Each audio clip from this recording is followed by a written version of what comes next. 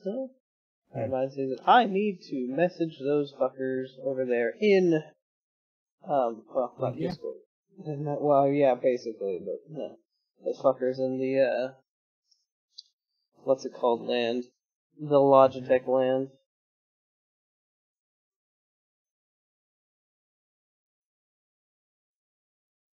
Alright, 7 o'clock Thursday. Everything is good. I switch back to you. Should be good to go live. A hop studio mood, mood, mode, question mark, real quick, check, make sure everything's good. Alright, that looks good. That looks wrong. But I'll fix it.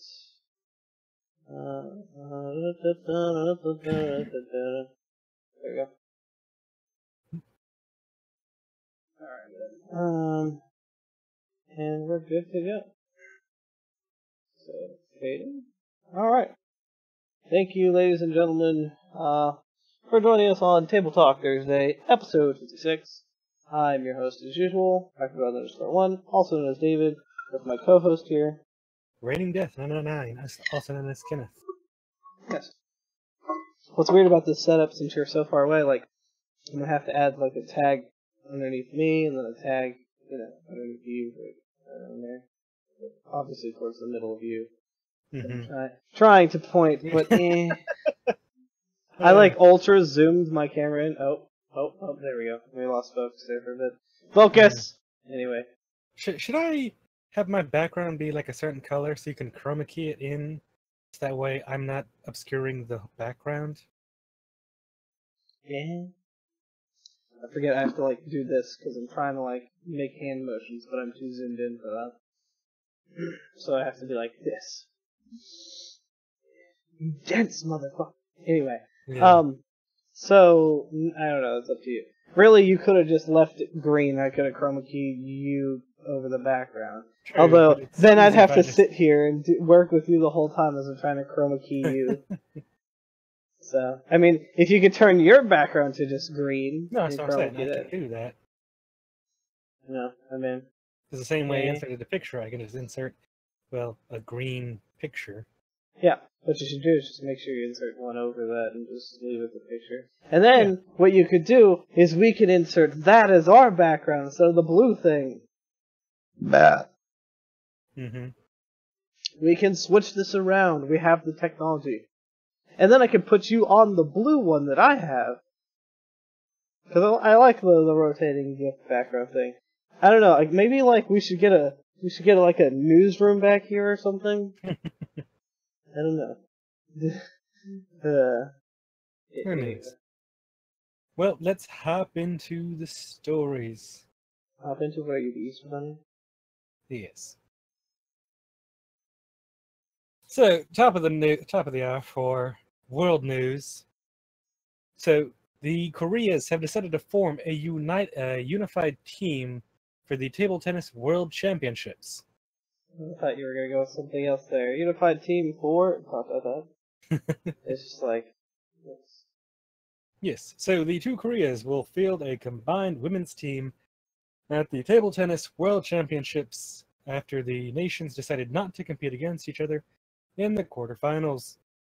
I, there, there's a per- bunch of perfect ones, a bunch of perfect newsroom backgrounds, and they've got like a green screen so you can put somebody on it or into it. That Mhm. is the best. Well, get them, and I guess we'll, we'll try it after the show. It's just funny because we're trying. It would just me standing here. Oh, my green screen is is, is fading. That's weird. It got worse. What did I do? I do? see that. What have I done? Anyways, Wow. And my color. so this is actually pretty interesting to see that this is happening. Uh-huh. Um, I think this really just points to another, another sign of the two Koreas wanting to come together. Um, the thing is, the citizenry of both nations do want a combined um, country. Although I don't know how South Korea is going to deal with the then influx of what would essentially be millions of very poor, you know, extremely, well, unhealthy due to the circumstances, people that will need tons of medical care and such. It'll probably be quite taxing for the nation. Oh, yeah. It will Um, probably be bad for a lot of people involved. I mean, it'll be good for the formerly North Korean citizen. Yeah, they'll actually get to do uh do real things. Yippee, real people. Mm. Um, but this, but like this is just another sign of the Koreas working together, and another sign of unity, another step towards it. Mhm. Um, just a lot of little baby steps to uh, really show the world the Korean people want a unified Korea. But I still don't trust Kim Jong Un for as far as I can throw the fat man. Uh, yeah, yeah, I'd uh, agree with that. Uh, Um, of I'm he's still crazy, no matter what public persona he's trying to fit out in this world leader facade. Mhm. Um, but anyways, the last time that a unified Korea team played in the World Table Tennis Championships was in 1991 in Chiba, Japan, where the women's team shocked defending champions China to win the gold medal. Hmm. so so here's a quote: uh, "I'm happy. It's a bit of a it's a bit of a risk, of course, as this is not 100% according to the rules," says uh, International Table Tennis Federation President Thomas uh, or uh, Weikert. Uh, but there's no disadvantage to the teams before, and we informed all the other teams, and they agreed.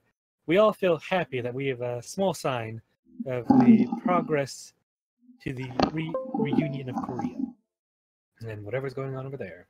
Huh, I was just uh changing my headset up or Hmm. plugging back in. Yeah.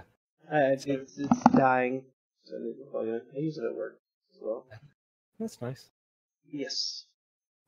And it says here, so well, we we respect the rules, and yes, we change them, and we will, but we will never do it again. It's more than a sport; it's more for the peace. I think it's worth it. Says, you know, ITTF president. Peace in the Middle East, baby. Well, peace in the Asian East. Yeah, no, I just said the Middle East though. Oh yeah, that's right. I can't minimize you or else that happens, right? Yeah, you, you freeze up. Damn. Hmm. It's depressing. Yes, I have indeed frozen on that screen. I fixed it. Yeah. I just can't have the tab minimized or that that window You minimized. can shrink it down. No, because it'll actually fuck with my crop settings. So, So for God's sakes. I have to leave it the way it is and just. It's okay though, because the way Windows works, things appear over it, hmm so it's all good in the head. Okay, but yeah, no, this is a very good sign for the Koreas, like I said. And hopefully this will breed uh, more togetherness with the Koreas, and hopefully it'll be an actual step towards peace. It'll breed more Koreans. I Ha mean- ha! Uh, oh, oh, oh god, what am I doing? Oh boy. Oh boy! Whoa, what is this? Oh, that's cool. There's a lot of cool stuff here. I better, better stop looking at the cool stuff. Uh, yeah, and, uh, read my story. Alrighty. Um, did you want to tag team the South Korean thing, or no? Do you want me to No. just it? Okay. Feel free. Cool. South Korea's president approval rating surges following inter-Korean summit. Uh, South Korea, the South Korean President Moon Jae-in's approval rating surged uh, following this last week's summit with Kim Jong-un, top leader of Democratic People's Republic of Korea, a local survey showed Thursday. Speaking of which, I just saw a picture today of uh, it was a meme though, but it was like I guess Kim Jong-un with his daughter posing with um, I'm assuming Moon and his son. Does They he were have like- a daughter? They were together. I I don't know. Either that or they were both of Moon's kids. I have no idea. That's just Hmm. what I saw. Um, and it was a meme. And then like the second slide of the meme was uh, all Naruto. It was Naruto and his daughter, and then the other person, uh, Kim Jong Un, was Sasuke and his his daughter. It was Naruto and his son rather, and then Sasuke and his daughter. And I was like, ha ha, that's awful. It's awfully hilarious. But anyway. Uh, support for Moon jumped 8.3 percentage points over the week to 78.3% this week, according to a poll by Probably was local pollster Real Meter. Wow. That dude's highly approved.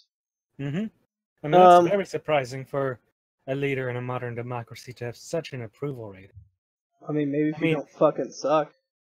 Uh, well, consider like America, most politicians Uh, Yep. Like big, like presidents, they Mhm. generally only have about, from a good chunk of their uh, reign, about you know fifty percent. Yeah, Yeah, well, which is okay because half of the you know, countries countries grew. But that's just because we haven't had any fucking decent presidential candidates. That's just what that shows. We've had a shitty pool of candidates, and Mm-hmm. and it's not even our pool of candidates is necessarily shitty. It's just we keep Well, no, picking shitty. It's, it's well, no, no, no, no. It's not even that. It's the pool of candidates we're allowed to pick. Well, we're not. a- We're allowed to pick more, Yep. but the whole like you know No, no, the no, two-party system thing is where We're, it's it's- at. we're not. problem. The thing is, uh, so in our democracy, quote unquote democracy, uh, we have what they call there's there's two elections. There's the money election, and there's well your general election. Hmm. The, the money election is the party picking who they want, Yeah. like what happened with Clinton and Sanders. Sanders was the clear winner by the people, but the party wanted Hillary, so the party Mhm. put Hillary into power. That's Yeah. money election. Yeah, but the, the problem is still parties. He still could have Yes, ran as independent. and There's plenty of other people that ran as But other the parties things. are the problem because people don't vote third party in this state No, people don't vote anything else that isn't a party because they're fucking retarded. That's just it. Oh my god, But my cup looks so cool. Yeah, I'm just saying that Um, we don't have a true democracy. You know, we're not, you know, going out there and picking the best candidate. We're picking who we're told we're allowed to pick, who's been approved by this company and that company, and et cetera, et cetera. Well, yeah, we're not a real democracy. We're not just a democracy. We're, I think, a is it representative? There's something We're, else. we're a constitutional republic, technically, but like that. but that's not the point. That's not what I'm getting at. I mean, that is the point. I'm getting at that we have rich people telling us who we can pick, Oh yeah, of course forcing us to pick who we can pick. It's okay though. We're about to start making money. We can throw money around at people. Not that I'd want to, but we're not that rich. But you know, It's well, it's not that expensive to buy a politician. Throw five thousand dollars at him, and they'll do your bidding. uh, I might have found a use for all of my excess money. hey. Anyway, the uh, the Pulse said Panmunjom Declaration raised expectations for the denuclearization and the establishment of peace on the Korean Peninsula, which led to a fast rise in Moon's support scores. Moon and Kim met on the South Korean side of the border village of Panmunjom on April 27th, uh, which is the border zone town, agreeing to complete denuclearization and the change of the current arms disagreement into a peace treaty by the end of this year. The peninsula remains technically in a state of war as the 1950 to 1953 Korean War ended with an armistice. armistice. Uh, support for Moon's ruling Democratic Party gained 2.7 percentage points to 54.9%, staying in the top post. Quite. So the party is, is 50. Um, um, do they have Republicans there? Because they have a Democratic Party. What else do they have? Like, I assume they have a lot of parties. probably. Because most most I'm assuming now they're having a lot of parties. parties that uh, North Korea's out of the picture. Well, not yet. I mean, the only reason he's saying denuclearization is because his fucking testing facility got destroyed. Yeah. So there's a that 4K Pro webcam. I'm looking at webcams a Yeah, I know. The. Logitech Brio, two hundred No. bucks. It's just uh, well, yeah. It just says Logitech 4K Pro. Which is the Yeah. phone. Yeah, 200 bucks. I So- mean, I I got this one for like 200 bucks. I think. So in a, Are we upgrading to 4K? The world may never know. I mean, probably. I mean, I mean, I need to upgrade this webcam. It's terrible. It says it's 1080p, but it's just not very good. uh, you get the Stream Deck, and I'll get the 4K camera. This So- thing is USB C. Yeah, it's a lot of bandwidth, man. 4K 60 frames per second takes about 60. I don't think it's 60k, 60 frames though. Everything's always like 4K 30 or 1080 30. Like this is 1080 30, yeah, but it's 720 60. Mm. It's weird. Anyways, so in a uh, in news of futures yet to come, China has stopped buying U.S. soybean supplies. So this was a, another thing that was talked about, and that was truly expected to happen once the soy tariffs went into place. That it was expected Chi- China would stop buying U.S. soy. So this is a bit of a of a shock to U.S. soy producers because they figured China would keep the supply going to the last second and then switch. But China has decided to just switch anyways and let their impact be known. I mean, So- doesn't, doesn't that hurt them a lot? Don't they use a shit ton of soy for everything? Yeah, but they can get it from other people for slightly more expensive than they get it here in the U.S., but still cheaper than what it would be after the tariffs. You know, it's to put out a message that China doesn't have to buy from the U.S. They choose to buy, and they can get their supplies from anywhere else just as well as they can here. And that's more powerful a message than even tariffs themselves, because then it puts in peril the entire industry, not just right now, in the tariffs talking points, but for the entire future. Because then it could see US soy production go to, in this case, Brazil, and see huge revenue coming in for Brazil and Brazilian soy farmers rather than American soy farmers, and then American soy farmers go to business. So this is, you know, China throwing its weight around. Mm-hmm. But yes, the world's biggest oilseed producer uh, processor just confirmed that one of the soybean market's biggest fears that China has essentially stopped buying U.S. supplies. Uh, Man, says I got this resolved so fast last time. Man, they're, they're taking a week now. Fast. Hmm. So here's a quote here. So whatever they're buying is non-U.S. Stating the obvious, says uh, Bungie CEO Soren Schroeder said in Who? Hello- Bungie, like what kind of Bungie? Not the game maker Bungie, right? No, not the game maker Bungie. Okay. it's gonna say like, Nani? Limited. I was just kind of like worried for a second. That's weird. Yes, Bungie is getting into the oil in oil seed processor. I mean, like, to be honest, fucking, do you hear anything about Destiny or Destiny 2 anymore? No. Hmm. fucking flop. Yep. Anyway. Especially, yeah, Destiny 2 major. It was so hyped, and then, like, everyone played it for a fucking couple days and just went green eggs and Well, ham no, people got did people, nothing. people got onto the bullshit they were doing pretty quickly. Well, we'll get to that in tech news. Stay Well, we, tuned. we we did we covered that already. The whole like them doing the weird level system XP yeah, cap well, thing. that yeah. was the thing they were doing. Yeah, but it wasn't. That wasn't the deal. Like even then, I had multiple friends that within the first week fucking maxed out Glimmer, maxed out everything. Already had the best weapons and the best Well, gear also, it's also just a carbon copy of Destiny 1 with some new locations, new skins, and a. I mean, it's all the same deal. There wasn't. There's no real substance to it. No, there was no real substance to Destiny One for me. That's why I stopped playing. I mean, it takes substance to keep a game going. Even with multiplayer, you can make multiplayer games with good substance. You know, good action, good controls, good gameplay, and it keeps people engaged and going.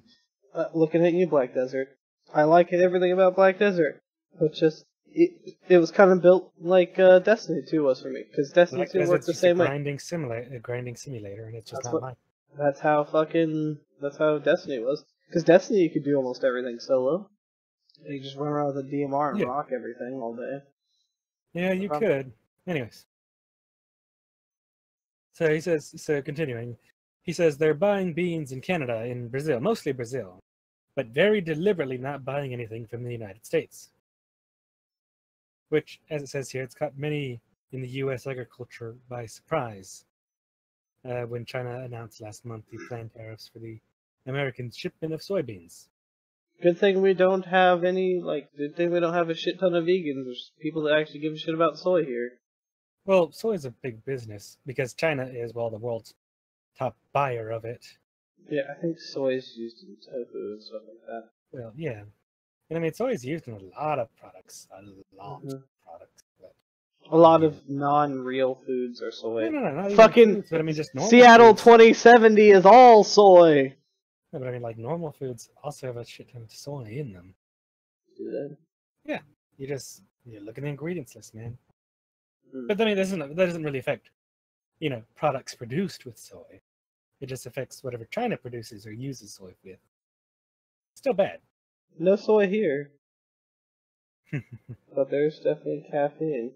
Which can make me sterile, but since this stuff is like light on caffeine, Doesn't make you sterile. I said caffeine can. No, Well- caffeine can. Oh. It just reduces motility. just slight sterilization.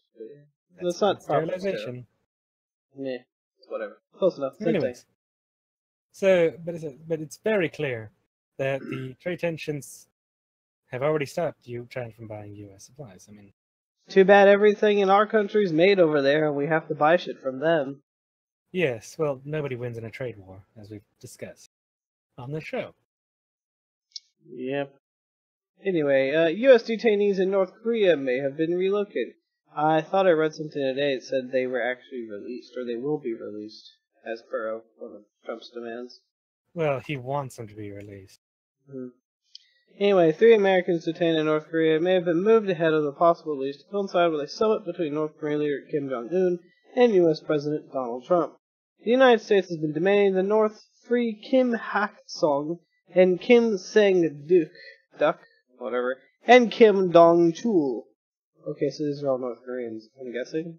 Well, no, these are South Koreans and Vietnamese Hmm. who've gone up there, uh, normally for religious reasons. Hmm. Anyway, well then. Um. So, uh, reports have said the two sides were close to reaching a deal on their release. They're staying in a hotel on the outskirts of Pyongyang. Wow, they're in a hotel. That's fucking definitely moving up from shitty, like, waterboarding camps and stuff. Mhm. Uh, said Choi Sung Ryong, a South Korean activist with contacts in the north. Is there, are they inciting rebellion in the north? Question mark. Anyway, uh, the three detain- detainees are being kept separately. Choi said, but we're going on tours, receiving medical treatment, and eating good food. Interesting. They're like, we have to make it seem like these people weren't treated like shit, and that they love North Korea, so that Donald Trump will like us. Yeah. Um, diplomatic sources in Pyongyang said there were rumors that the three had been relocated, but there had been no confirmation of their exact whereabouts. Uh, we have been talking about them. We are negotiating now, Trump said at a joint press conference with Japanese Prime Minister Shinzo Abe. That's interesting. Didn't know the Japanese were coming on this too. Uh, Kim Jong Chul, a South Korea-born American pastor, wow, uh, that's a mouthful, has been detained in the North since 2015 when he was arrested for spying. He was sentenced to 10 years hard labor in 2016. Yes, internment camps, the best. Uh, Kim Hak Song and Kim Sang Duk, or Tony Kim, were both working at the Pyongyang University of Science and Technology, founded by evangelical Christians from overseas, when they were detained last year on suspicious of uh, suspicion of hostile acts. An And ironic name for a university by evangelical Christians. And, and also, like, yeah, the science and technology. And I'm like, what do they do? Like, any science and technology institute I know do fucking government contracts and work on spooky bullshit. Or I'm looking at you, MIT. I mean, MIT There's- is probably a billion. Huh? I said MIT probably does a, t- does a ton of things. Yeah, but all you ever hear about is all the MIT kids going to DARPA and shit. And all? DARPA does is make bad things for the most part. I mean, they make robots, but they, they do a lot of bad shit. Our government really likes them. I mean, I don't hear about very many people from MIT going anywhere else and doing anything to save people's lives. well, ironically enough, Solis's brother came from MIT. and Yeah, I know. So there you go. You That's just heard somebody who came from MIT. That's not, but yeah, not saving people's lives, as you said though. No, not doing. but I mean, I'm sure stuff. there are MIT graduates who are doing that, whether from the biology or technology side, or I mean, Maybe. People are doing shit. I mean, it's not the the government can't employ everybody from these places. Private sure industry that? needs to get its say in there as well. Yeah, So a lot of government contracts. get Anyways. from MIT. So this is a, this is a little funny story I'm having here. So Toronto police suspect pranksters dangled car off bridge. What the fuck? Yep. So Canadian police say they believe pranksters are behind a car found suspended from a Toronto overpass. The blue sedan, empty and in disrepair, was spotted hanging from the Millwood Bridge early on Wednesday morning. And here we go to a picture of the car hanging down. It is just the best. It's like a fucking Nissan or something. Little Maxima. I believe it's a Toyota. Or Toyota, yeah, So I was gonna say. One of the two. That's pretty funny. Hey, I like Uh, how your video instantly pops in and mine takes like a minute. Hmm? I want to switch back to the sources. Uh, Toronto police originally believed it was part of a movie shoot, but later confirmed that no filming permits had been used. Fire Mm. services were able to safely cut the car down by mid morning. How the hell did they manage to do that? Is a better question. An excellent question. Excellent question. Like, did they just tie a fucking, you know, cable to it and hope for the best? Like, cars are a couple thousand pounds, even the shittiest, lightest cars. Yeah, at least two. Mm. One to two, something like probably one and a half. They're, they're, they're most of them start at two and up. They're, they're two to three. Even Yeah. well, most most sedans are two to three. My car's two to three. Yours two to three. Yeah. So Anyways, uh, police have launched a public mischief investigation on how it's actually a Honda Civic oh, came to be hanged by cables from the over. there you go. I knew it was one of the like five lawnmower makers. It's Hmm. funny actually. Somebody, some dude uh, said that uh, somebody wanted to race me. Like the the coworker like comes in all the time saying uh, X wants to race you because we talked about my car, and uh, he's like, "Yo, Con wants to race you in his Honda Civic." I was like, "Oh, that's a lawnmower. I'll eat that for breakfast. It's cool." He's like, "Hey, I'm offended because he drives you know in a Accord." I'm just like, "Hey man, a lawnmower's a lawnmower." Yeah, but he's driving a V6 manual. Hmm. It's also tuned and played with. Yep. There's a difference. Anyway, So um, the- yes. no, you're good. Okay. Uh, the incident resulted in the use of significant resources that were not available to attend a genuine emergency service call, calls for service, uh, police said in a release. So apparently, well, ironically, well, not ironic, but this sounds about right. So, university engineering students in the US, Canada, and UK have a history of similar chicanery. Just Tom Fool over here. I know it says tomfoolery. I'm saying chicanery. It's all the same old, weird, old people words that nobody uses anymore. People use it. And it's being used right here. Yeah, how old is this person that wrote this? Well, let's see. They're journalists for the BBC, so I'd say, probably say about 40s. I rest my case. Old people. Also, they're from the. UK. They don't even fucking count. They use weird words over there too. They fucking They spell color You. color. Yeah. So in The 2009, uh, one prank from the University of British Columbia uh, students failed when the cables holding up a suspended car from a bridge in Vancouver broke, plunging the vehicle into the water. Five students were caught and threatened with criminal charges. So is I guess like you fail getting one car up, do it again. Mm. Uh, in 2001, UBC, I guess University of British Columbia students again claimed responsibility for dangling the shell of an old Volkswagen Beetle from the railing of the Golden Gate Bridge in San Francisco. Wow, that is impressive. Yeah, I don't know if it's the University of British Columbia British Columbia is University of Berkeley College. I don't know. maybe something. Long story short, everybody loves dangling cars off bridges. Yeah, uh, that's kind of weird. That's kind of strange. But I love the- this, I love this next one here.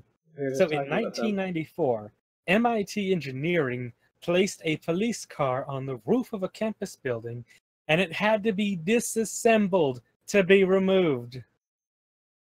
I just love that the cops couldn't figure out the engineering effort it took to get it up there, so they just disassembled it all.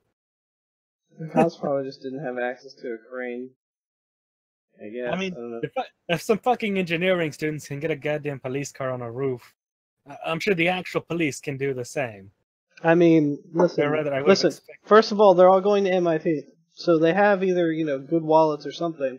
So Daddy's credit card can rent a fucking crane that can hoist a, a car and throw it on top of I suppose so, but so couldn't the police?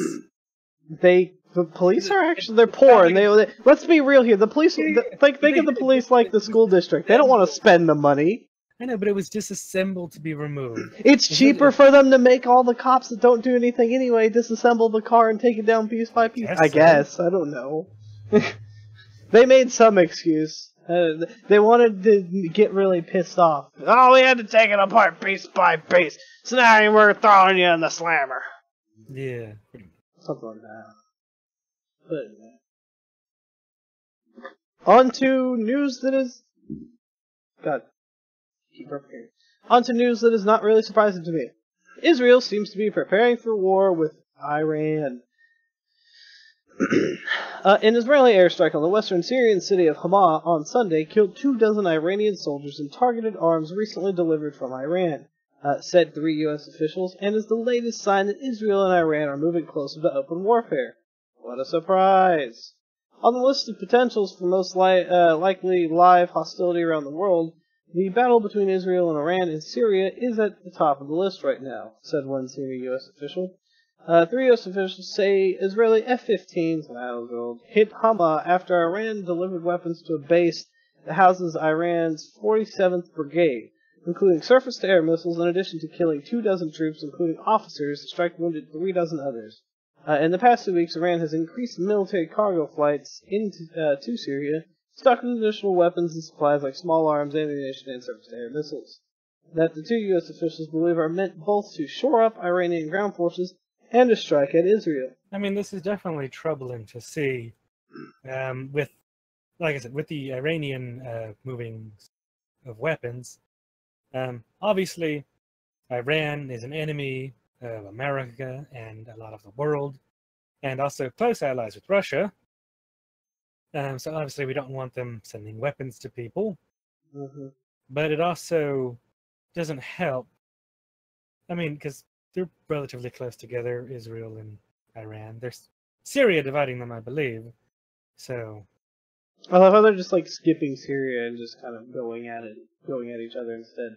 Well, that's why they're moving the weapons to Syria, and then Syria's putting them on the border because Syria and Iran are allies because they're all allies together with Russia. That's just basically what I'm saying. It's like, but it, again, it's, it's not surprising. It won't be su- that that surprising either. Whenever we back Israel and go in and pull another Desert Yes, that's Storm what I'm worried slash about. Afghanistan slash Iraq slash every single all of the Middle to East. The Middle East. There's never Back- peace in the Back Middle to East. the Middle East. Who's do, who do we have? We don't have who has oil over there? They don't have oil. They have the natural gas pipeline stuff. But what about Uh, oil? well, Saudi Arabia, Kuwait. Um, yeah, but it's all those. Those people aren't going to fight us. Saudi Arabia is too rich to fight us. So let's throw money at us and we'll walk go away. Yeah, pretty much. Um, Syria has here. nothing. I think Iran has oil. Maybe Memory serves, and minerals.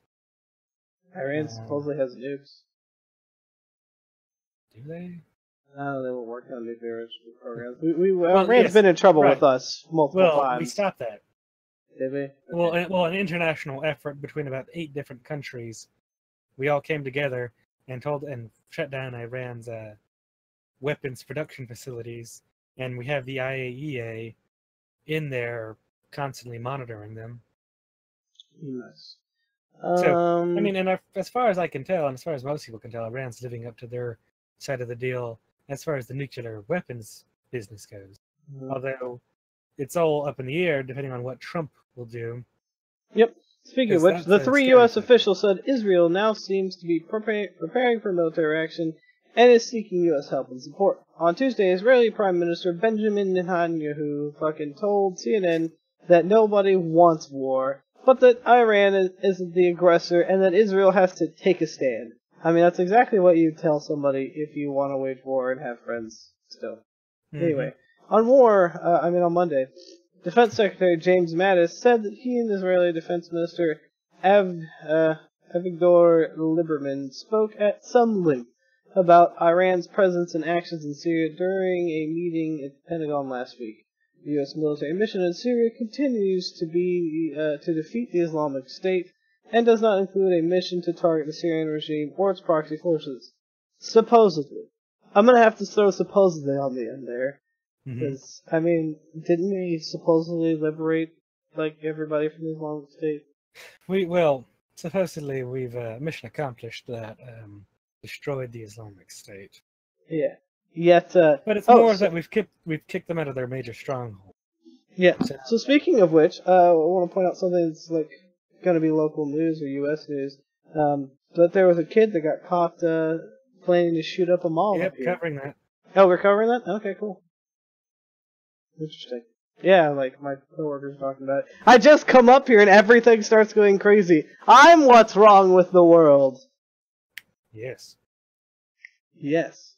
And I'm okay with this. anyway. Anyways, okay. Jump back to. So on to U.S. news with Donald Trump starting us off. Mr. Trump. Mr. Trump. Uh, so it says here Donald Trump wrote own health letter, said ph- physician Harold Bornstein. Or is it Stein? Or Stein? Berenstein. Bernstein. Bird Burr. Yep. Oh. So Donald Trump's former doctor has said he did not write a 2015 letter declaring the then Republican presidential candidates astonishingly health, uh, excellent health, uh, U.S. media report that Mr. Trump dictated the whole letter. Uh, in, an- in an interview with CNN, Mr. Bornstein uh, said the 2015 letter suggesting Mr. Trump would be the healthiest individual to ever be elected to the presidency was not his professional assessment. Mr. Trump dictated the letter, and I would tell him what he couldn't put in there.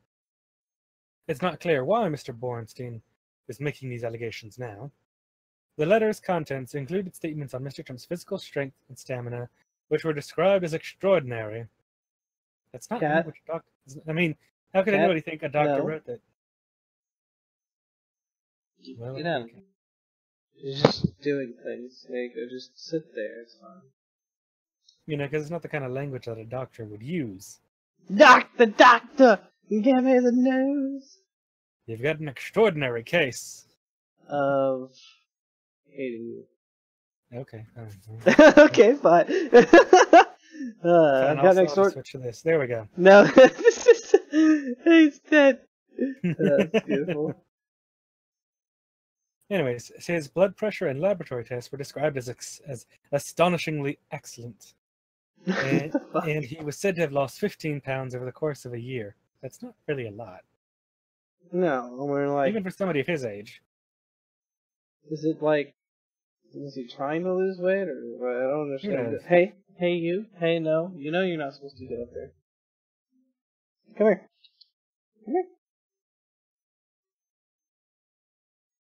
Hey. you. Anyway, it, it added that Mr. Trump. Ah! Okay, your cat's doing something to you. Yes. I was petting her and she just laid down and started attacking my hand. Hmm. It's okay.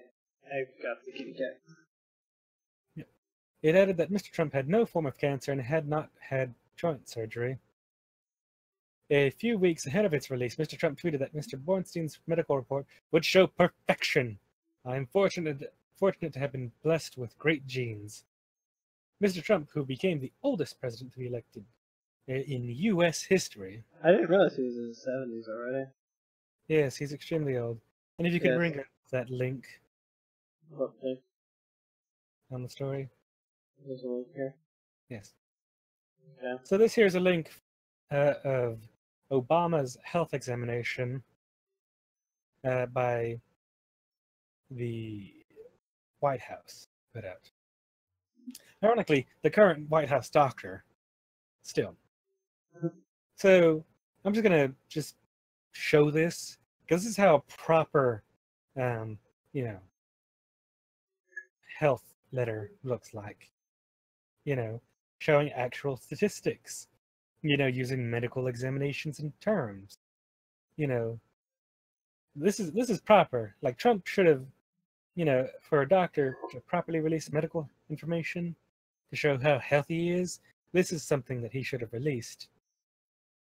Yep. For the president to have dictated a letter, which it's totally believable. I it is completely It's something he would do. he it's certainly something that he'd do, and based on the language of the he can stop trying. I don't want to stop showing. Shh. But I mean, based upon the language of the letter that that that he wrote. Oh you know, using words like, You know, astonishingly excellent, extraordinary. You know, those aren't medical terms. You know, No. Astonishingly excellent. Excellent. it's just, uh, you know, very clear. Uh, the New York City based physician said he was then visited by one of Mr. Trump's personal bodyguards and two other men at his office on February 3rd. They must have been here for 20 or 30 minutes. It created a lot of chaos. He said Chaos? the original and only copy of Mr. Trump's medical charts, including lab reports, were taken by his aides. Wow. The incident took place shortly after the New York Times a report in which Mr. Bornstein said he had prescribed Mr. Trump with uh, Propecia, an anti-baldness drug. That's hilarious. and so, White House Secretary, Press Secretary Sarah Sanders later insisted that the incident was not a raid and that it was standard procedure for the White House medical unit to take possession of the president's medical. Ah, what? I mean, that makes sense because I mean it's the president's medical records; they need to be kept secure. I mean, I guess I don't know if like that's the level of security you want to go with there. Well, it kind of makes sense because the president's health record, you know, gives a lot of sensitive information about the president. You know, Mhm. what drugs they're on, what they're doing, you know, you know what they're eating. So it, it could lead to somebody, you know, I don't know, wanting to kill the president by putting in drugs that don't combine together. Could cause problems. don't combine together. Drugs combine. Yeah, I don't know. Just sensitive information you don't want out about your president. Because also a president should show, you know, good signs of health. Mhm. It's bad for the nation and its power for the president to be shown not being healthy.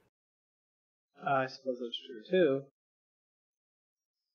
Still, though, quite weird. Quite, quite right. I mean, and this is the least of the White House medical unit's worries, with all the stories that have come out about how they're just handing out drugs like candy to anybody who comes through the door. hmm And they've been doing it.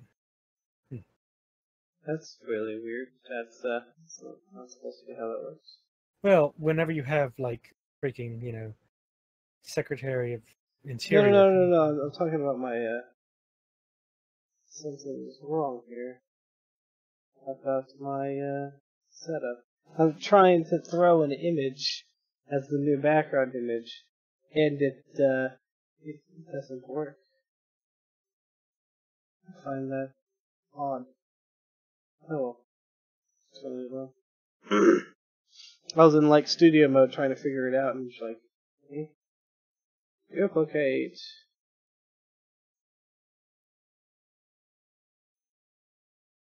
So, eh, it's all good. hmm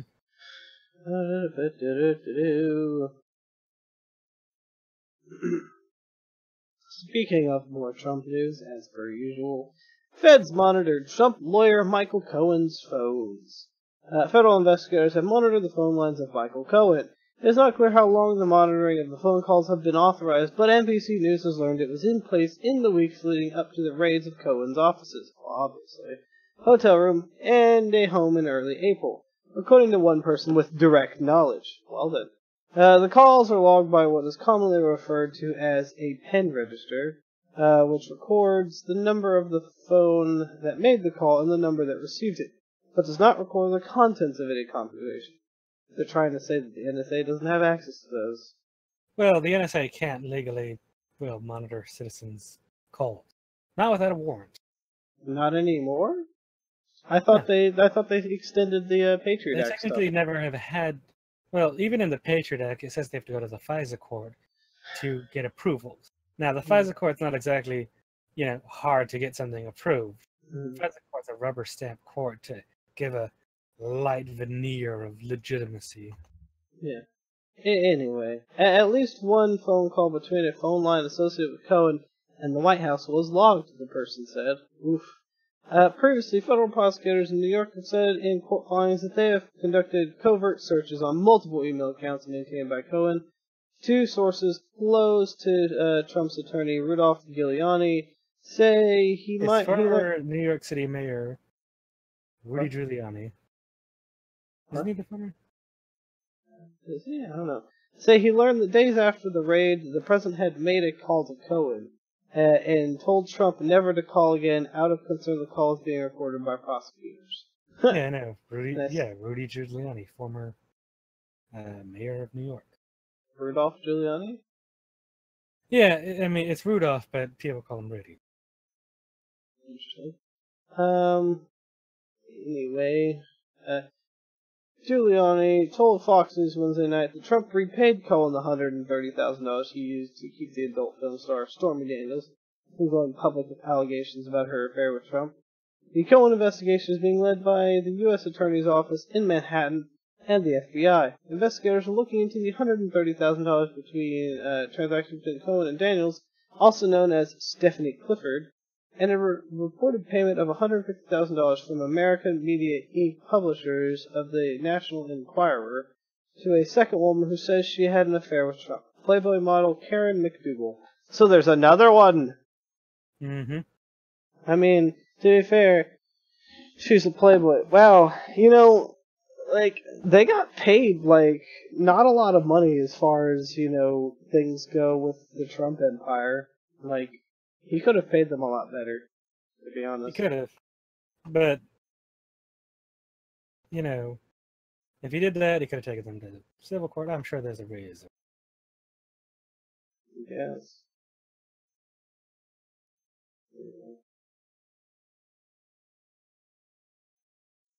Uh, there's a video here. Stormy Daniels' lawyer says he was stunned after Giuliani bombshell.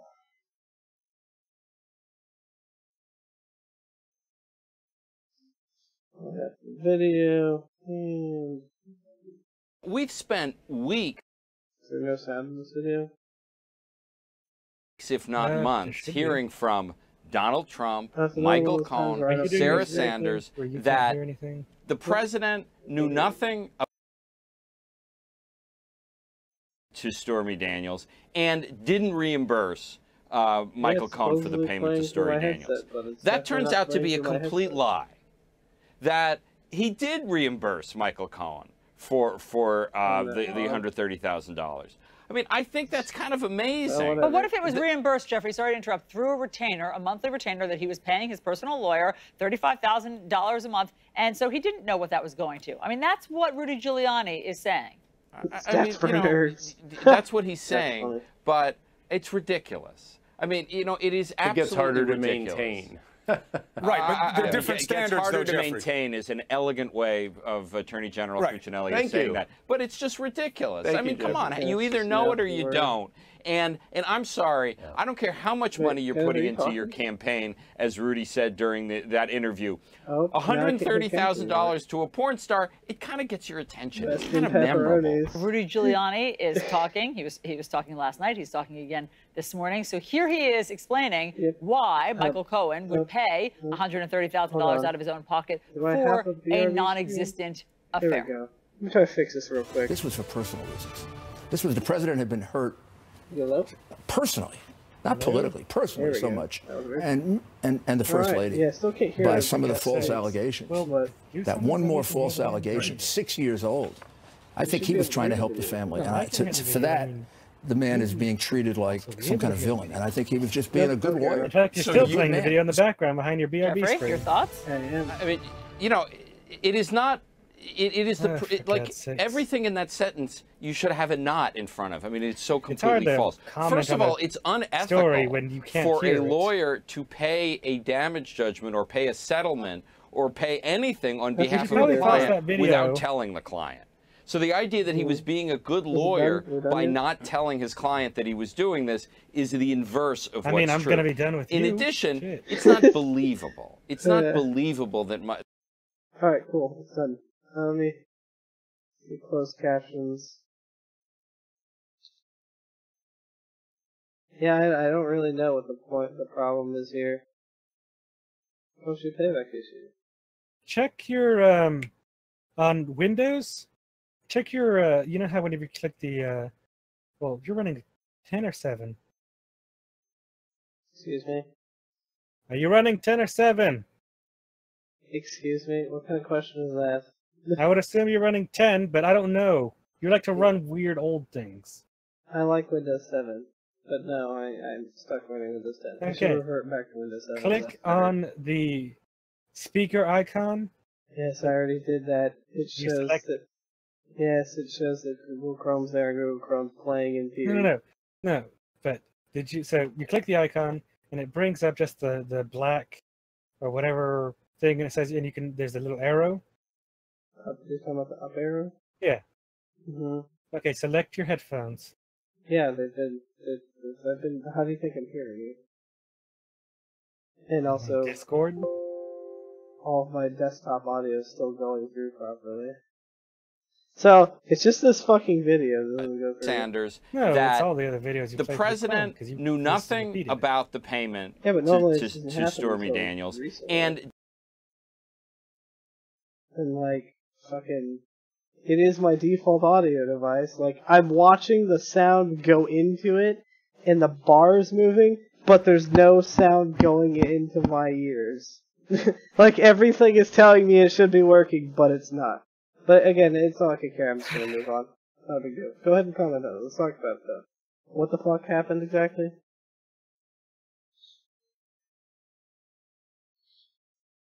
So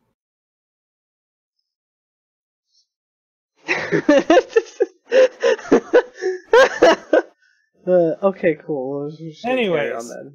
So Trump basically has come out and changed his story yet again about the whole Stormy Daniels thing, That stating that he actually did pay Cohen the one hundred and thirty thousand dollars as retainer fees, um, instead of paying him as a reimbursement for the payment. Um, which is obviously contradictory to the many weeks worth of statements. But, but realistically, he could say that. What does that actually matter? The Well, only it- real problem look, that the world would have well, is if he. Well, it's a concern that he didn't report it on his financial report to for like his loans that he's supposed to report to the government before he becomes Wait. president. oh, okay, that's weird. So he didn't report it there in the financial filings, and then Mm-hmm. it's also the worry that, uh, which is what brought this to light, is that he had He used campaign campaign funds. Yeah, that's what I said. That's the only real issue here is him using campaign funds. Well, Sure, if somebody doesn't- and it's the legal financial fraud, or it's the Oh, illegal financial fraud. Is it financial fraud though? Yeah, for not reporting to the government, you know, pay, payments and loans or whatever. It wasn't a loan or anything. It was just a payment to somebody. Yeah, it's a very big payment to pay off a person. Is that, is that something you have to report? I'm unaware that as an Something you individual have you to have to do that. Well, I, I, not as an I- the only thing it's because he's trying. It's because he's president. I, I guess, but I feel like you're not. You don't have to report who you pay. The only person that's supposed to report the money they take in is the other person. They No, have to report them making the money. There's some form somewhere there where they have to report it. My Anyways. first time I'm fucking hearing about that. Also, that laptop that Well- I was using, that Dell, that's Yeah. al- almost what I have at work, except it's mine's. I. Well, the rules for the rich are, you know, a lot different. The rules for the rich don't exist. What are you talking about? He has enough money to make it just disappear. He's also the president of the United States. Let's see if he tries to sweep it all under the rug. He could have her Probably will. assassinated for all we. You know, I'm pretty sure. He, I'm pretty sure he might have already tried by now. He might have been like, "Somebody, just take her out. I don't care. Deal with her." You're like, Mr. Trump, we can't do that. We we can only do She's that whenever U.S. you don't. citizen.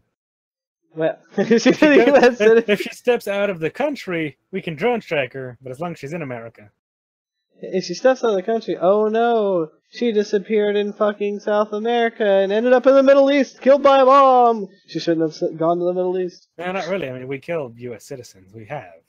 No, Illegally. I know, I know. I'm, I'm making jokes, but yeah. Yeah. No, it's not like they couldn't if they really she just she just steps one foot into Mexico, and all you just you don't even hear, you hear the drone. You just see the explosion. Pretty much. And the fucking the poor border office blows up, and then they're just like, "Oh no, it was a Mexican terrorist." uh, he said, "Praise Jesus" or something. But anyway, all right, that's enough of that. That's enough of that. All right, now your turn. Carry on. So, children who play football before the age of 12 show CTE related symptoms much What sooner. is CTE? Uh, CTE is like concussion. I forget the exact term. Basically, oh, there it is. Uh, chronic traumatic encephalopathy. Oh yeah, we've known this for a while. This Well, not really. I mean, I've heard of yeah, this before already. Yes, but a lot of the investigations have been done on older football players. This Mhm. is a, a new study focusing on children. Oh man, the South Texas pastime, it's gonna go away. Oh no, you'll break their reality, Kenneth. Don't do it. Oh, there goes gravity. Uh oh, there goes gravity. Yep. Yep, so a new study published in the Annals of Neurology found kids who start playing tackle football before age 12 will, on average, develop cognitive and emotional symptoms associated with the degenerative brain disease CTE much earlier than those who start later. There's one California family whose son began playing football at the age of nine. Football. the sport for his early death. Just a year before his death, James suffered a brutal hit to the head while playing football as a Oh. lineman. After Well- the game, That's not what I wanted to do, but that worked. okay, you're doing something over there. After the game, uh, his dad noticed blood around his ears. Uh, he was, and here's a quote from his father, he was known in the neighborhood as a kid who would fall down and just get right back up and go play. He didn't, he never cried. I talked to him about these things and he said, Well, I got my bell rung all the time playing football. And I was shocked to hear that, says Gregory Ransom. So J- this is crazy here. So James suffered from short-term memory and vision loss and OCD due to the concussions he suffered, due to the brain injuries. I mean, this is crazy for parents to allow their kids to play a sport that we know in, you know, adult football players whose brains are fully developed, who go and, you know, have severe emotional difficulties and commit suicide quite often. And for parents to let their kids play, and then things like this happen, where the kids suffer short-term memory loss, vision loss, OCD. These things are devastating for a child and for adult, for anybody. Devastating. So he attempted suicide just three months after the hit and was committed to a mental institution for a month. Woo! Nearly a year later, he took his own life. Uh, So, the new study in the Annals of Neurology looked at the brains of 246 deceased amateur and professional football players.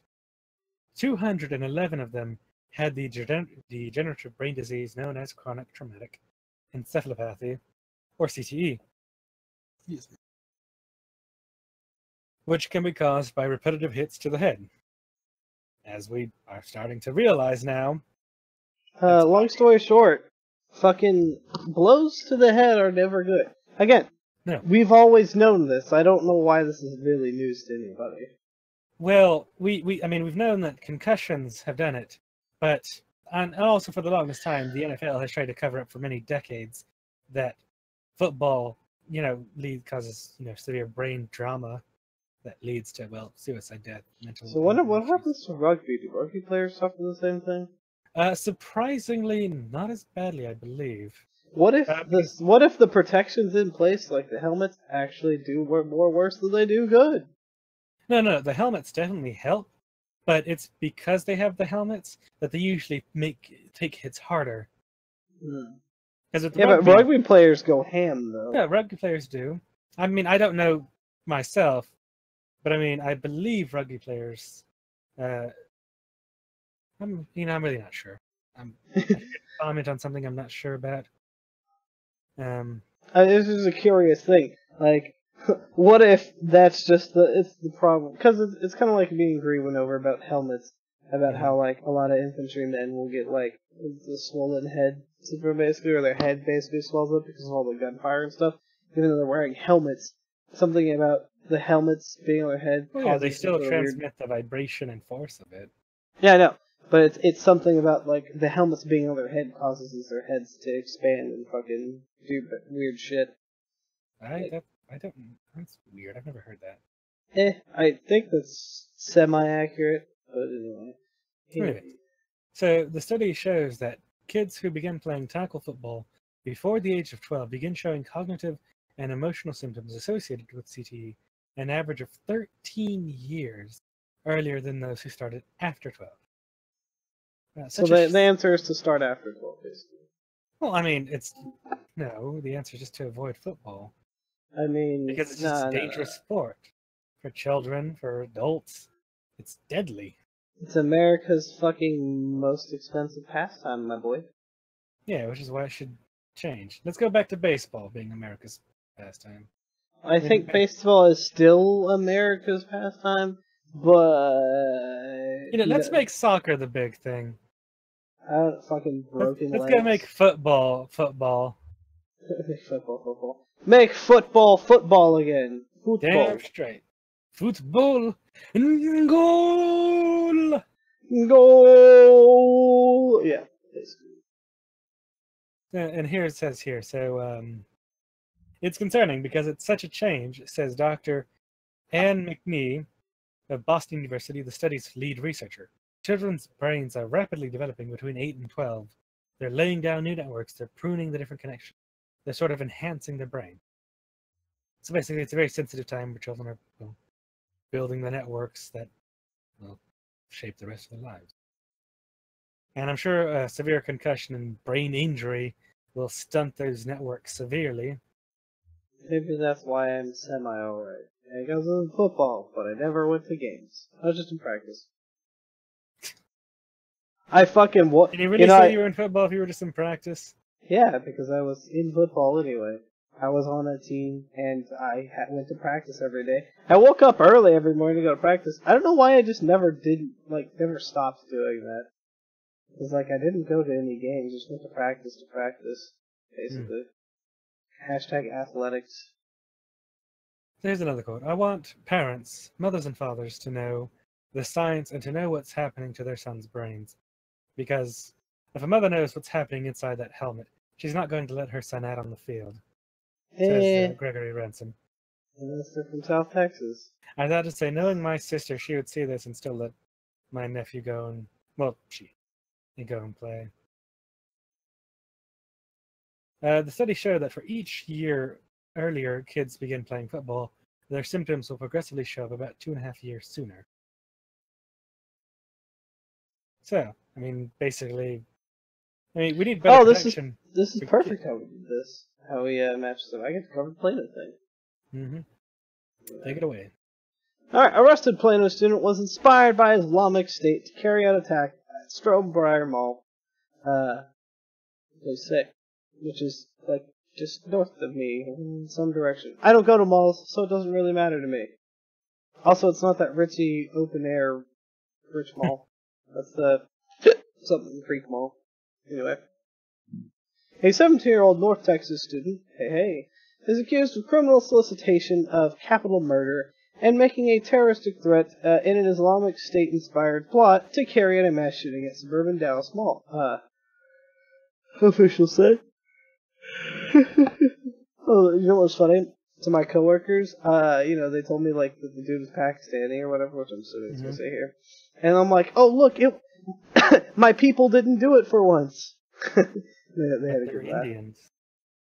I said my people didn't. Oh, Because, like, white people didn't do it for us. That's Yeah. that's what was going on. And they laughed. They had laughing. Well, Pakistan, they're, they're Indians. Pakistanis Yes. are Pakistanis, so it's, it's all the same thing. Yeah.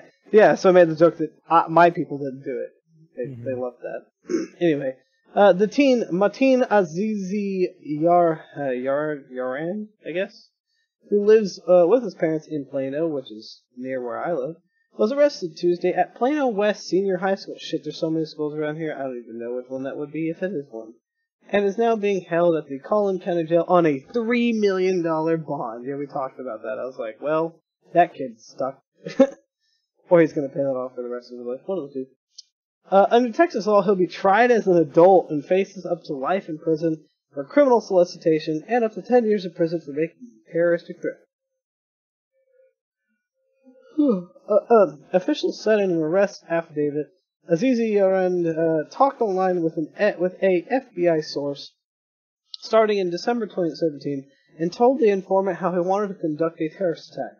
Over the course of four months, investigators said the suspect communicated with two informants and an undercover agent about possible targets that included an, unma- uh, an, unar- an unnamed school, a Hindu temple, and then Stonebriar Center Mall in Frisco. Uh, according to the affidavit, Aziz Yarand uh, stated that the FBI source in the messages Look at all the other lone wolves. What training did they have? Yet they simply killed the kuffar. Arabic for disbelievers, the affidavit said. Uh, the brothers in Europe and the brother in New York had no military training. It's not about numbers, it's about getting a message across to these Taghut countries. It's dangerous to akhi. We have to be careful. Um, some have gotten arrested. So we good, brother? Question mark. Uh, investigators said the suspect discussed waiting until he turned 18 to conduct an attack so he could purchase the rifle himself. Uh, Azizi Arand is quoted in the affidavit as saying, But I swear I want to achieve Allah's pleasure and kill the kuffar. And I've only been reading ISIS magazine guides for performing operations and making bombs. But he needs to be watching and he needs to be reading Inspire. Is that, but isn't that the one he was maybe reading? I don't know. No, Inspire's Al Qaeda. No. Okay. It's all the same shit. Uh, official says Azizi Yarand said the goal of his attack was not a high death count, depressing, uh, but rather forcing countries to spend more in security, though a high, uh, though a high count could help get their attention. Wait, what? what? So their goal is for the countries to strengthen themselves? Question Well, no, they want them to waste money in security to sh- restrict their freedoms. Oh, okay, well, Yeah. restricted freedom, sure, but like the whole wasting money on security, like it just makes them more secure so you can do this less. Not really. Anyway, well, in theory, at the time of his arrest, well, I mean, uh, we obviously stopped one finally. Well, probably Well, not finally. yeah, it probably yeah. happens a lot. Well, So yeah. yeah, so realistically, it's working. Whatever we're doing is semi-working. Um, anyway, at the time of his arrest, investigator says Aziz Urand had sent more than 1.4 uh, thousand to an informant for the purchase of weapons and tactical gear. He sent the source documents and propaganda, including documents uh, authored by Eric Harris, one of the attackers in the 1999 shooting of Columbine High School. The affidavit said. Interesting, dude. That kid had fourteen hundred dollars, man. That's that's uh decent bit of gear. You can get fucking class three armor uh, plates in a plate carrier for fucking three hundred bucks. I wasn't gonna buy one. I probably should still, uh, especially when I go buy a gun. I'm gonna use that Boy Scouts of America like card thing that I told you about, and I'm gonna go fucking like it's got fifty dollars off of, or ten dollars off fifty dollars at Dick's or something. I'm gonna buy a gun for ten dollars off. Thanks to the Boy Scouts of America. But actually, it's no longer the Boy Scouts of America. I don't know if we have that story in here, but I need to. I have to. Well, that's big news. I'll just that cover it? So, uh, this is very big news, hot off the presses of uh, yesterday. So I Uh, bought something that's illegitimate now. So, the Boy Scouts of America will no longer be known as the Boy Scouts of America. But that, It's that's because of the whole accepting I'm all getting kids thing there. yeah. that we covered. They, for will be, they will be changing to the to Scouts BSA. Because with yesterday's announcement of the name change, also came the fact that they are now going to admit girls into the program. See, I'm a I'm a longtime Boy Scout. Here's that card. Camp card. Well, you can't see that because some of the stuff is uh getting turned on the green screen. Yeah, free cheddar fries. Something about Dick's Sporting Goods.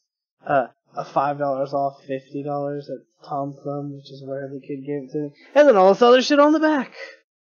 Bass Pro Shops, some other stuff. Kind.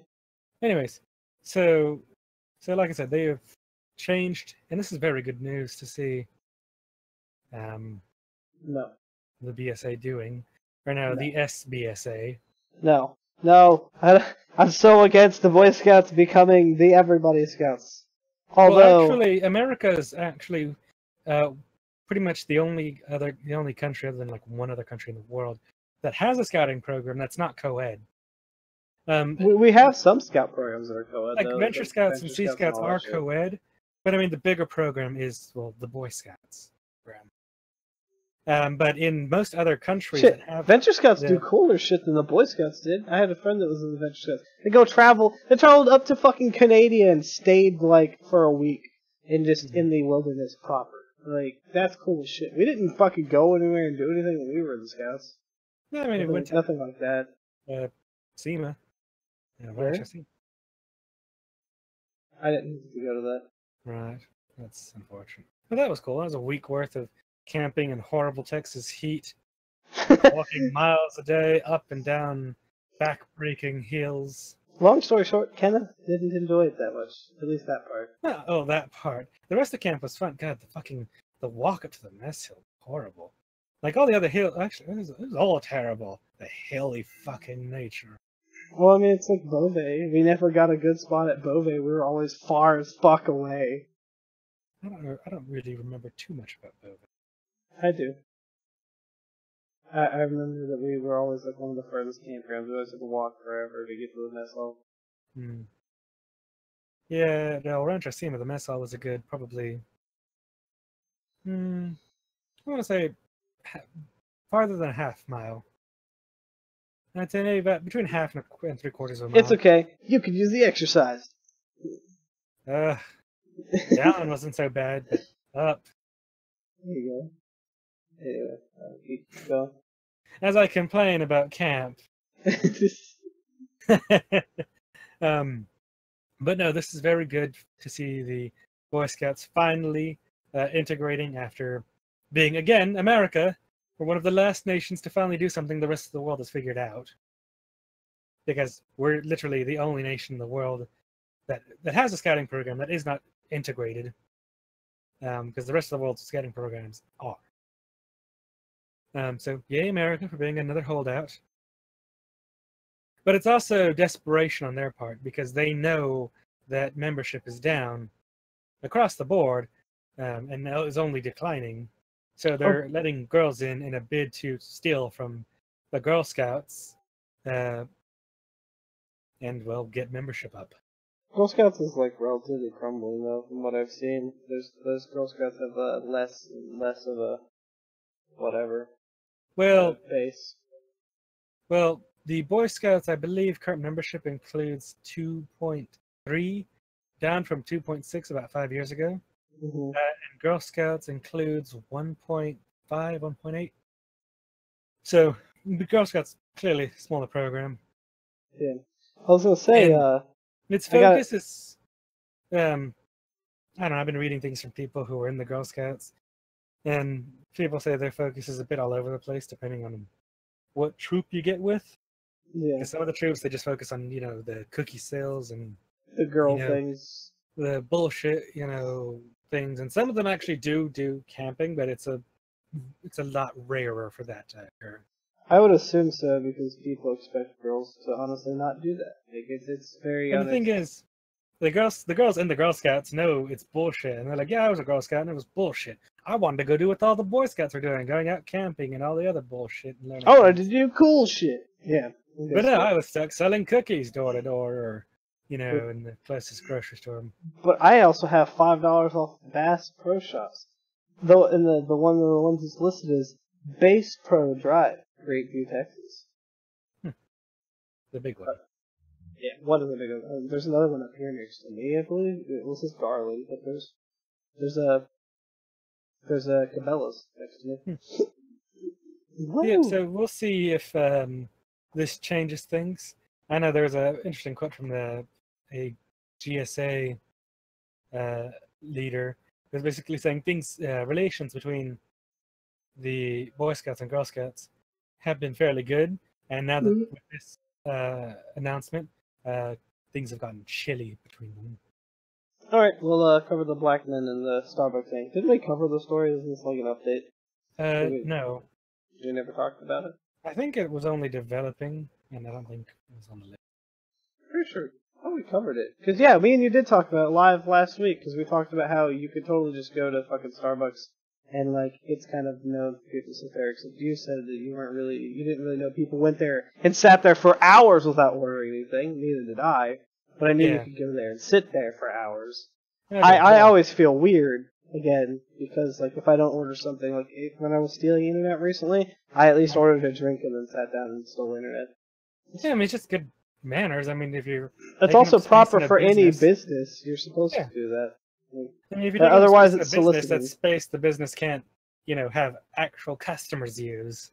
Yep. E- even if Um, there's no customers like in that fucking Yeah. Walmart subway that I was sitting in forever. Yep.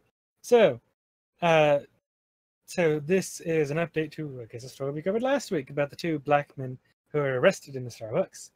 Uh, so, the black men have settled with Starbucks and the city. So, it says here, two black men were arrested for sitting at a Philadelphia Starbucks without ordering anything, settled with the world's biggest coffee shop chain Wednesday for an undisclosed sum of money uh, for an undisclosed sum and an offer of a free college education. That's Ooh, nice. Separately, they reached a deal with the city for a symbolic $1 each and a promise from officials to set up a $200,000 program for entrepreneurs in the Philadelphia area. I think that's a neat thing. You know, putting your tax dollars to work, uh, rather, putting their tax dollars to work with a program for young entrepreneurs. Okay. Uh, the men portrayed the twin settlement as an effort to make sure that something positive came out of the April 12th incident, which touched off a furor around the U.S. over racial profiling. We thought long and hard about it, and we feel like this is the best way to see that change that we want, to see the change that we want to see. Uh, said Donte Robinson, one of those arrested. It's not, it's not a right now thing. That's good for right now, but it's still like we'll see true change over time. Uh, business partners Robinson and Rashon Nelson, both 23, were led away in handcuffs and accused of trespassing last month after the manager of a Starbucks in the city's well to do Rittenhouse Square neighborhood called police, saying the men refused to buy anything or leave. After spending hours in jail, they were, they were released and no charges were filed. Did they Yes. actually refuse to buy anything or leave? Because they, they know they they made their case saying they were waiting on somebody, but Um, if I remember, if I believe correctly, they were actually only there like two minutes before the police were called. oh, not well, hours? Um, yeah, Uh, that's not even near soliciting levels. That's just Yeah. yo man, I'm taking But apparently they asked to use one of them asked to use the restroom, and they said it was for customers only, and they Which- didn't want to buy anything. Which is always bullshit when people say it because I believe restrooms have to be public. well, I mean, if you have a public restroom, it has to be available to the public. Yeah, but I mean, if it's if it's a fucking restroom that's like in a building where people will sit for a while, I think it has to be public. You can't. Uh, you're not supposed to have you know non-public restrooms if you're a place that's you know like I said offering something where you sit down and you will be there for a while. I guess, a, yeah, particular type of business. Yeah. I understand gas stations where you know they, they deny you being able to run in and run out kind of thing because you know you're not there to stay. But this has you know seating and stuff, and you're usually there to stay for like a few minutes or whatever. hmm Yeah, but they were only there two minutes before uh, technically a restaurant. I think that's how that. Starbucks decided to call the police on them. Yeah, which is no bueno. On Wednesday, Starbucks announced it had reached a financial settlement with men, and the amount was not disclosed. The company said they will also be given the opportunity to complete their bachelor's degrees, their tuition fully covered, through a Starbucks partnership with Arizona State University. The online college program was created in 2014 for Starbucks employees. There's also I, I didn't know that Starbucks had a fucking college program. Yeah. Go figure. But that's very hipster and progressive of them. Yeah. Also, the men will be given the chance to discuss their experiences and share their recommendations for changes at Starbucks with former U.S. Attorney General Eric Holder. That's a weird thing, but cool. I mean, you get to talk with, you know, a famed black U.S. Attorney General, who is the U.S. Attorney General under the, the first black president as well. So, uh, and finally, under the deal, the city with the city, the men's arrest records will be expunged, and a program will, will be created to offer counseling and mentoring to entrepreneurs from Philadelphia High School. Uh, it says here, uh, quote, I am pleased to have resolved the potential claims against the city in this productive manner, said Mayor Jim Kenney. This is an incident that has evoked a lot of pain in our city and has put us under a national spotlight for unwanted reasons. Damn, it sounds Yes. like everybody just caved underneath these people pretty hard, which is good, I Well, guess. I mean, a discrimination lawsuit against Starbucks, they would not. I mean, clearly, Starbucks understood that they would lose heavily, and they'd probably be awarded millions. So it's easier just to settle with them and give them a little bit, and they can go on their way. And took I mean, give them a lot of it, because now they can just go to college and fuck around for a while. Yeah. Well, at least until they get their bachelor's degree. Yeah, I mean, However long it takes them to do that. That's what I'm saying. They could just keep like fucking around for a little bit. I mean, it's, it's nice. Like honestly, you know, I don't know what Arizona State University costs, but you know, probably 40k, something like that, on top of whatever they were awarded. And it says they're it that they- continuing their bachelor's degree, which either means that they started it, and they probably have some credits, or they might have an associate's. So, Yeah, you know, it might be cheaper on Starbucks as well. yeah. Not, Yeah. that, not that I give a damn, but I mean, not that Starbucks can't afford it with their extremely not that overpriced Starbucks coffee. can't afford it as well, yes. Starbucks also really likes to make themselves seem like the good guys and everything. Mm-hmm. They're ultra hipster. Really, they don't give a shit. but, yeah. Downtown restaurant ordered to pay ten thousand dollars after black man was asked to prepay for food. ah, I love this subtle racism, beautiful. A Chinese restaurant. There's nothing subtle about it. A Chinese restaurant in downtown Toronto. Oh, wow, this is in Canadian. That's kind of weird. I didn't expect this shit from America. Uh, has ordered a, a to pay a black man ten thousand dollars by Ontario's Human Rights uh, Tribunal after he and his friends were asked to prepay for their meals. Back on May third, twenty fourteen, Emile Wickham and his three friends attended uh, a Hong Xing Chinese restaurant located in the area of Dundas Street uh, West and University Avenue to celebrate his birthday. After the four men ordered their food, Wickham told the tribunal they were asked to pay for their meals prior to receiving them, which they did. Wickham said they felt I mean, who would do that?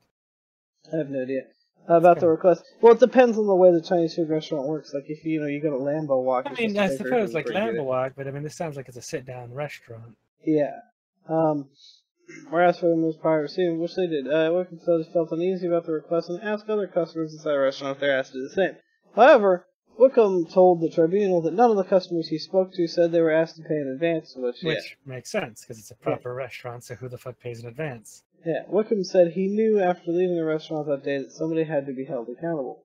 I would give all this back ju- to just spend two hours with my friends, just bonding for my birthday, he said.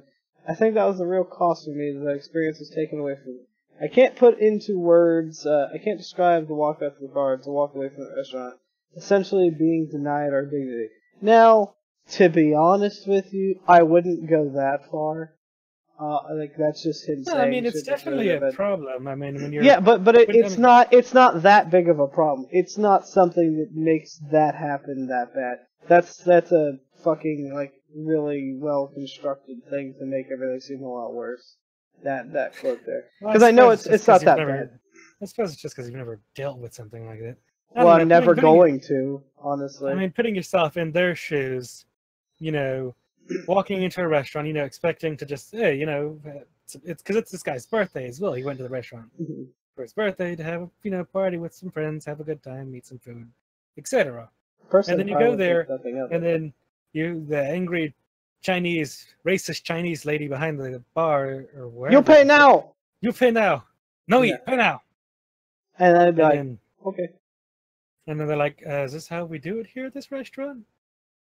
And then they're like, "I guess so." Kind of thing. I mean, I mean, basically, but it, it doesn't, it doesn't, it, it doesn't ever get to the point like where he said, where he just, you know, give it But all back for, for being- two hours.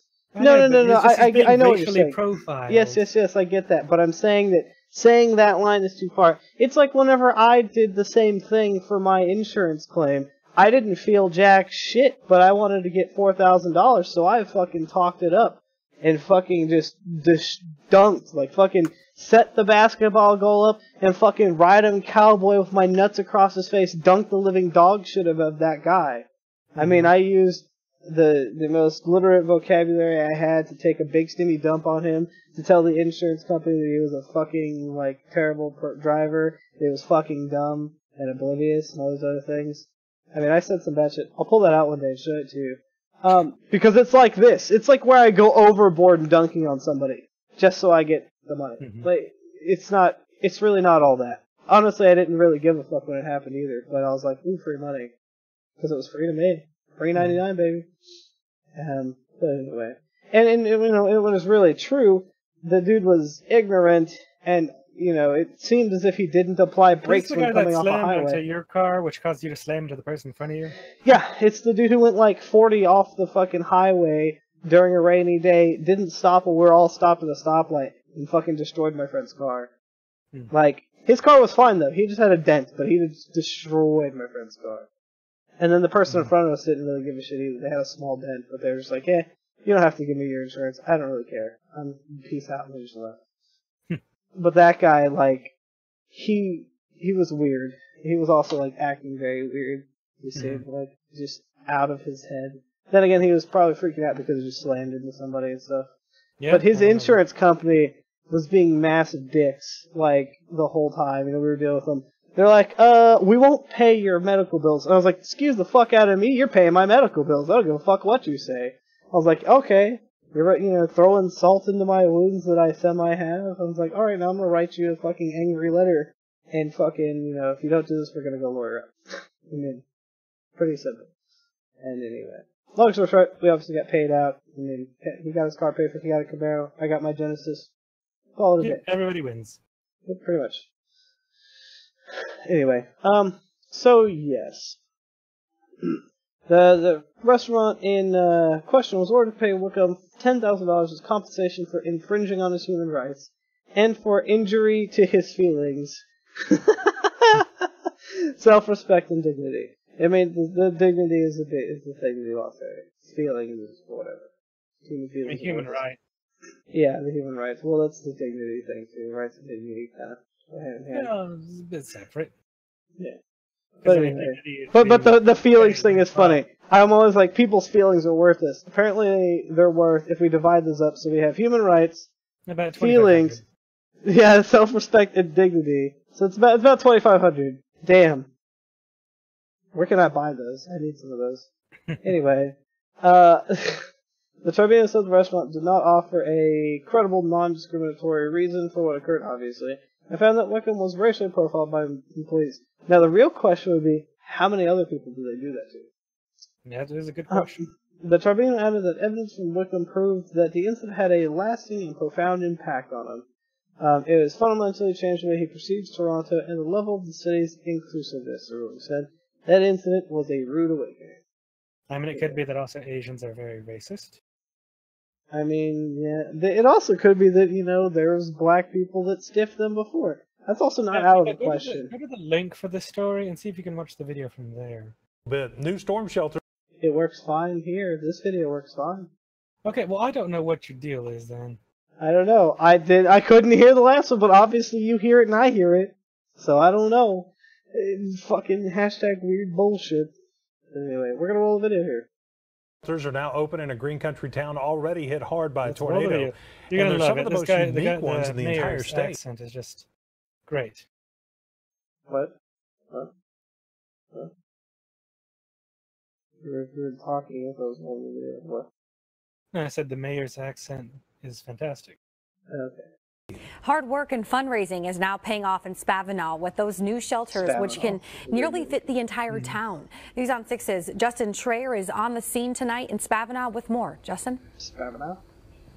Yeah, guys, when the weather is threatening, people can get to safety inside these two massive shelters. And just to give you an idea, each one of these shelters is about 30 feet long and 7 feet wide. And for a town of about 400, the mayor says these shelters will save Yes, I mean, lives. these are good sized shelters. Yeah. Just in time for the first I mean, threat of this severe concrete. storm season, Spavinaw's unique new storm shelters are finally open. It's a relief since a tornado hit the Mayes County town.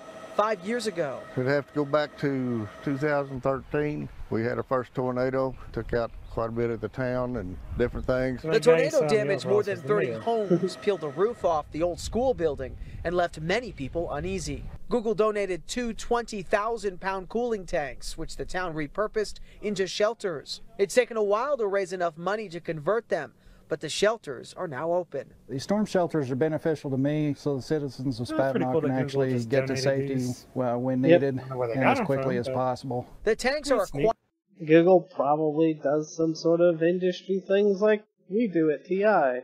Maybe Yes. their data center or something. I just fucking I guess. I don't know. Dude, what's interesting is when I go to work, like I come look at the back of the production plant and like the other day there was uh, ice on the like liquid liquid nitrogen storage tanks. Mhm. On like two of them out of like the row of them. And I was like, that's cool. I was like, that's weird though that they're frozen over. Eh, whatever. I don't care. Somebody should figure that out. quarter inch of steel, Yeah. have FEMA certified doors on the outside, along with a concrete structure and a handicapped accessible ramp. Mayor Jim Wynn says the shelters are a necessity. It's uh, very important for Uh, everybody. I mean, the Feels mayor's just good. great. He's just, At least just a country guy in overalls. this, this, this looks great. a safe place for our residents. Mayor Wynn says right now the shelters have battery powered lights and they also have vents. But the town hopes to eventually run electricity to the shelters and make more improvements. We'd like to put some benches in, but we're going to need to raise some more money or something. As they raise money, they also hope to raise awareness that the shelters are open and ready. Interesting. Now, I bet people are gonna go in there and, will like, even fuck or give people rides something. to the shelter if they don't have a I way mean, to it looks like they're locked. I mean, So they may they're- it's open open- for this dude. get there. If you're looking to donate, you can enter our website, newson6.com. Live on Yeah, I don't know how much benches are gonna cost and shit for that. I mean, it, should, it could be long. These are only temporary shelters anyway. What Yeah. happens if something blows over and gets stuck on the doors, though? Well, I suppose there's not really much you can do about that. the scene on the story in But Mayes I mean, County, Justin um, Schreier. You can fit a good amount of people in there. So this is a town of 400, and they want to fit 30 150 people per thing. That's what they say. So it's a lot of it's a lot of cramped ass motherfuckers. That's what that is. yeah, but when you're trying to survive a tornado, well, you Tornado. tornado, you cramp yourself in very well. Yeah. You know what's interesting though? I feel like if the tornado goes right over the top of that vent, it'll suck all the air out and fucking kill everybody. It's not how that works. Are you sure? I'm I'm pretty, pretty sure, the inside of a tornado is a fucking vacuum. I, I don't think so. Uh, no. Very certain that one. That one.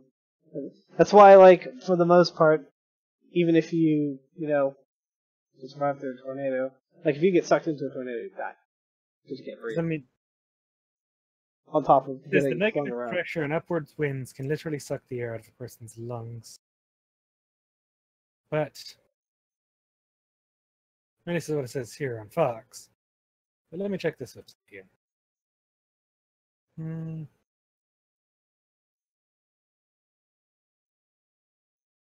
It's a massive force of negative pressure. That's exactly what a tornado is.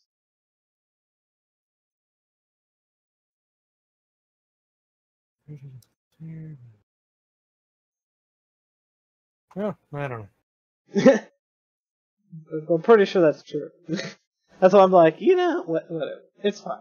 And it's funny that they have like those little battery powered sticky lights. Just those kind of fun. But, Anyways. On to this. oh wow.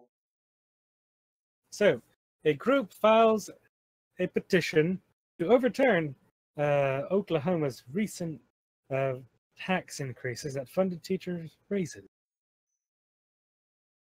So, Oklahoma voters could get a chance to vote on repealing a tax hike package used to fund teacher pay raise. So, whoever the hell is doing this is an asshole. First off, Depending on how big the tax hike is, though. well, let's get to that.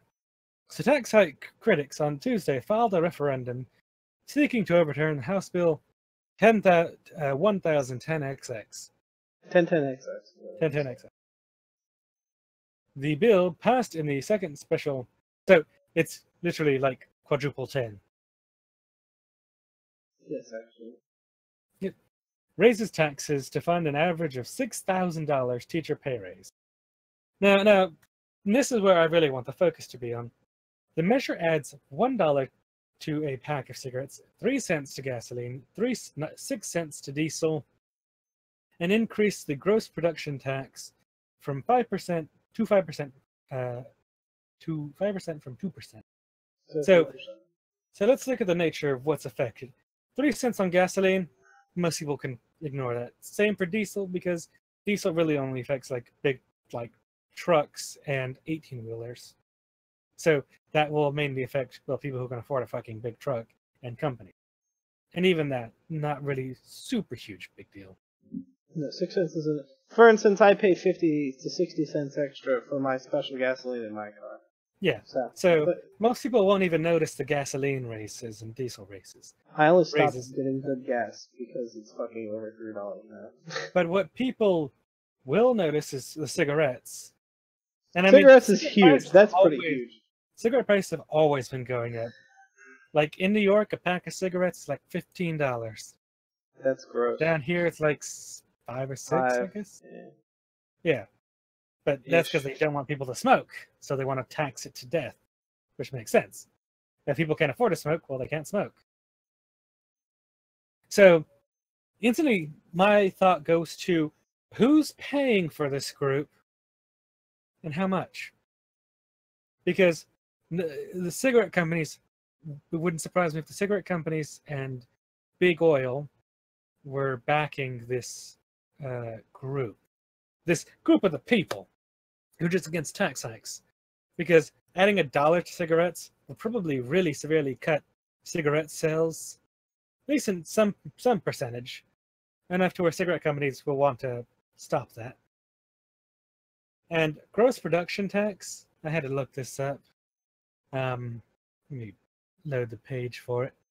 So it refers to uh, companies that generate revenue based upon depleting non-renewable resources like oil, gas, coal mining, and mining of metals and minerals. And so literally anything useful for the most part. Not really. I mean, oil, gas, and coal mining is a small thing for some states. Yeah, but that, that's anything though. That's like other. No, no, no. It's industries. producers of it. You know, Yeah. like like Chevron Phillips 66 plant. Yeah, but it's also you know like I would think cement and some other build basically building materials come into oh. No. play there too. It, it wouldn't affect those. Yeah. Because it's, it's meant for people who take non-renewable resources. You know, Yeah. like oil, gas. Co- concrete isn't a non-renewable resource. It actually is. But it damages not- the shit out of things to fucking, you know, dig up giant quarries full of rocks and the, the stones that you need for concrete. Concrete's a non But anyways, it's a tax normally introduced as a means of compensating the state for the pollution the miners emit. Yeah. I don't, I, I, I don't know. I don't know if this would affect concrete producers. I mean, they also use heavy machinery and fucking chug away True. gas and shit the. But, but I suspect that this group is funded by a combination of, you know, oil and natural gas and coal. Well, uh, what? I I don't know why natural gas, because natural gas is clean burning. Well, but still, it's a non-renewable resource. That's true. So, you know, Yeah. you're not going to get more natural gas. Yeah. So I imagine they'd be affected. so- So I imagine this, this group is like I said, there's there's tons of natural gas though. by I the believe we have. company and by the big oil companies because it just no. makes sense that they would want to keep their business. Either that or it's just a bunch of fucking stupid people like I the Bay City it. people that are just like, we don't want any taxes. Have you seen the citizens of Bay City? Have you seen Yeah. what they went through because of their, oh no, we don't want to raise taxes. I mean, you've got Eric, you got your Eric Schroeder, you got your Peters, you got your whoever the fuck else is in that giant group of fucktards. You got Mhm. those people. They exist Yeah. everywhere. I do. I mean, yeah, I I understand they exist, but I'm just very suspicious because I mean, when money's involved and groups are involved against raising taxes for particular items, it always makes me very suspicious about, you know, what companies actually back these groups for this goal. You know? Yeah. I think this is a reasonable question to ask who's funding these people. No, I mean, it probably is. Continue on with the story. Yes. Uh, so supporters need slightly more than 41,000 signatures to get state question 799 on the ballot, and the deadline is July 18th. So Ronda, Ronda Vuillemont Smith is the co-founder of Oklahoma Taxpayers Unite. Oh God. Again, these people with their damn names. Uh, she said supporters hope to get the ballot measure on. Hope to get the measure on the November ballot. Uh, this will place it on the ballot for repeal, either to repeal it or keep it. So it's a so it's a yes or a no vote by the people, which it actually isn't, um, because the bill itself has not even passed.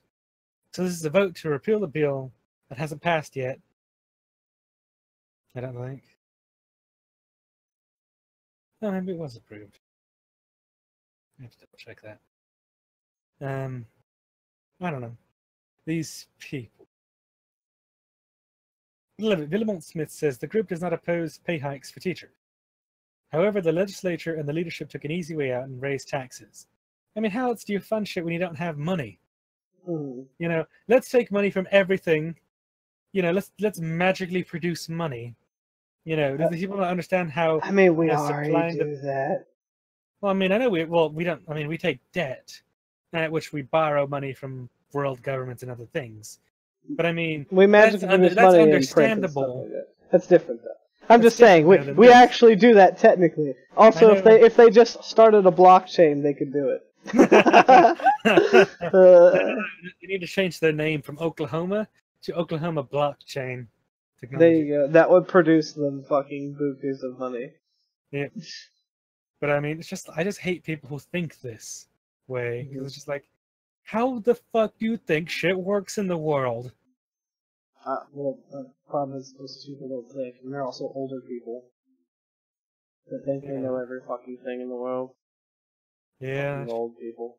Fucking old people. The tax package and pay raise were approved prior to last month's two-week uh, teacher walkout that sought additional dollars for common education to lower class sizes, buy supplies, and fund other issues. Because again, teachers also desperate for school supplies. However, former Senator Tom Coburn of Oklahoma is again supporting the group's effort to repeal the tax hikes.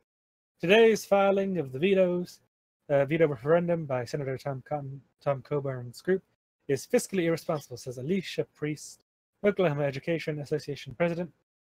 After a decade of cutting budgets, this session our legislature finally acted in the best interest of our students and passed new reoccurring revenue to fund our school. Yes, absolutely correct. Um, and I can back up that statement, um, for instance, from I work for a school district. So we've recently changed things here. So uh, every year we get like a two or three percent raise, but insurance also goes up two or three percent. No, So- really, I didn't know that there was an actual offset there. It's Yep. funny. Well, and not only that is that two percent only keeps up, barely keeps up with the rate of inflation, which is two point one percent. So your money is not only worth less every year, even with the raise, it's worth us doubly less because they take it out of your health insurance. So you're getting less money in the end. Hmm. But they don't tell you that on the brochure. There's that for sure. Yeah, just suffering. yes. There's no brochure, only Zool. Yep. Anyway. Anyways, take it away. Alright, so on the tech, tech news, Comcast aims to combat cord cutting by limiting major internet speed increases to cable subscribers. Kinda fuck you guys. Uh, it's no secret that cord cutting is more popular than ever. The success of services like Sling TV are a testament to that. Naturally, this trend hasn't exactly been ideal for ISPs that offer video services. Cable TV subscribers uh, numbers continue to drop while the number of cord cutters increases. ISPs, however, are looking at alternative methods, of keeping their cus- uh, customers tied to their cable boxes. I mean, technically, these people already get like cable internet. They're already using a box and coax. Yeah. Anyway, as Ars Technica reports, the latest company to do so is Comcast. According to the outlet, Comcast last week announced that numerous significant internet speed increases will be rolling out to select Houston, uh, Oregon, and Washington-based customers for free. The speed increases would reportedly kick in automatically without raising customers' monthly bills, and would more than double some customers' internet speeds. For example, customers who subscribe to Comcast 60 megabits internet plan are being upgraded to 150 megabits connection, while some 250 megabit customers are being bumped up to 400 megabit connection. Yeah, that's pretty Now- significant bumps. Y- yes. Now, before I go on into this, I'm gonna drop some knowledge that the AT&T tech recently told me here. Mhm. So he was saying what happens is with the um, the ISPs like AT&T and everybody, they will they can offer you more speed on the line supposedly, like he's saying for my Uverse. That's how I'm getting you know almost up, up to 100 when I only pay for 75.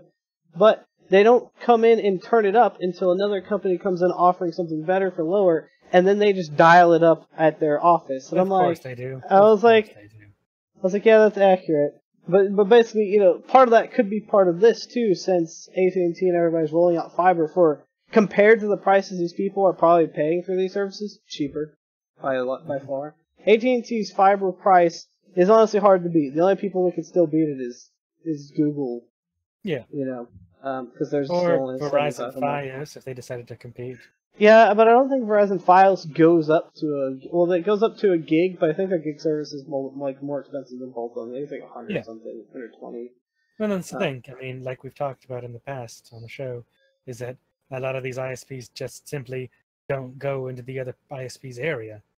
Yeah, or on top of that, they just sit there and they will go into the other person's there, but like all, but until one of them decides to jump up connections. Like for instance, AT and T could be behind the scenes working on lines. They could Well, have had like happened in Bay out. City. You know, New Wave offered started offering 100 meg, and 100 everybody meg. got on New Wave because it's 100 meg. And back when AT&T was still offering 12 or 24 at the maximum. Yeah, well, they were when AT&T was offering DSL. That, that's probably one of the reasons why AT&T honestly came back down. And now New Wave is basically useless. They're going to go out of business again, I think. Yeah, it year. wouldn't surprise me because I mean AT&T just simply provides better service. Also, poor A- poor New Wave. They came in to you know, inherited such shitty equipment. They had trouble pushing out the hundred. I'm glad that they came in and started doing it because they were pretty good. Oh, the New Wave chick also told me the New Wave fiber chick that was trying to you know get me to help her install fiber in people's places was telling me that like their fiber is way cheaper than uh, AT&T's, which I believe. Even if even if they are subleasing out from AT&T, because there was one time where I called Windstream, which doesn't even exist in Bay City, but they said they could actually sell me fiber for like five times, like five, you know, five times under what AT&T quoted me for. Mhm. And I was like, how the fuck can you be renting out their line and still sell it to me for cheaper? Yeah, it's because AT&T is a bunch of assholes. It's just a long story short of that. It's Yeah, well, like, wow. Yeah. AT&T. Uh, anyway, I mean, I love you guys because you, you know, have support my show right now, but uh, fuck you guys in the long run. And support mine. Anyway, so yeah. Um, but if you think this sounds a little too good to be true, you'd be correct, as there's a pretty major catch. Specifically, you'll need to be subscribed to a Comcast bundle that already packages internet and TV services together to receive these increases. It won't be enough to be an internet subscriber alone. Um, Comcast lost 151,000 pay TV customers in 2017 through, uh, though according to a Leichtman uh, research group, industry-wide cable television providers lost 1.5 million video subscribers in that same period. Like realistically, 151,000 people kind of isn't that bad. I mean, that's 10% of industry-wide loss. Yeah. So, eh. But uh, it, it's still pretty bad. But on top of that, if you like, I've lived without television service for so long now, it really doesn't fucking matter. Besides, Yeah, I mean- also, you're gonna save money if you're just on internet alone, and then you buy one of those packages. You'll probably save money anyway than having internet and TV Yeah, because I mean, like I have, I have Netflix, Hulu, and DirecTV now, which is essentially TV. It's a, yeah, DirecTV now is a TV service basically. But it's only thirty-five dollars, and I get the large package, which means I get most. I get like ninety percent of the stations they even, the channels they even provide. That's not bad. So I mean, For- you know, so so you see like what Hulu's ten dollars a month, right? Yeah, Hulu's ten. Hulu's ten. Yeah. Netflix is like It's like ten. It's 13. eleven or twelve. Or do you, do you pay for 4K? Depends No. if you pay for 4K or not. Okay, It's- then it, it's it's, like like, eleven and $12.99. it's it's twelve. Well, that's the 4K, I'm pretty sure it's twelve. No, no. I think it's because I have like four people. That's still, still you can have the Well, under can 4K pull up my package. thing. I think it's like twelve ninety eight or something. Yeah, I thought it was eleven ninety eight. I thought it was a dollar less. Anyway, I know like the 4K package is like fourteen fifteen. And Yeah, which I things mean, like I'm not 11 12. 4K. Yeah. 4K is a gimmick. Ha! He agrees. 4K is not a In, gimmick. inadvertently. I just anyway, it doesn't matter. for it because like the living room TV is not 4K, so and they're the people who watch Netflix. but anyway, yeah. So he's paying, you know, in total. You're paying as much as you pay for TV if you're just getting shit you want. Because I mean, that's the biggest deal. You pay like 50, 60 bucks. So, I mean, TV like, in total- a bunch of shit you don't want.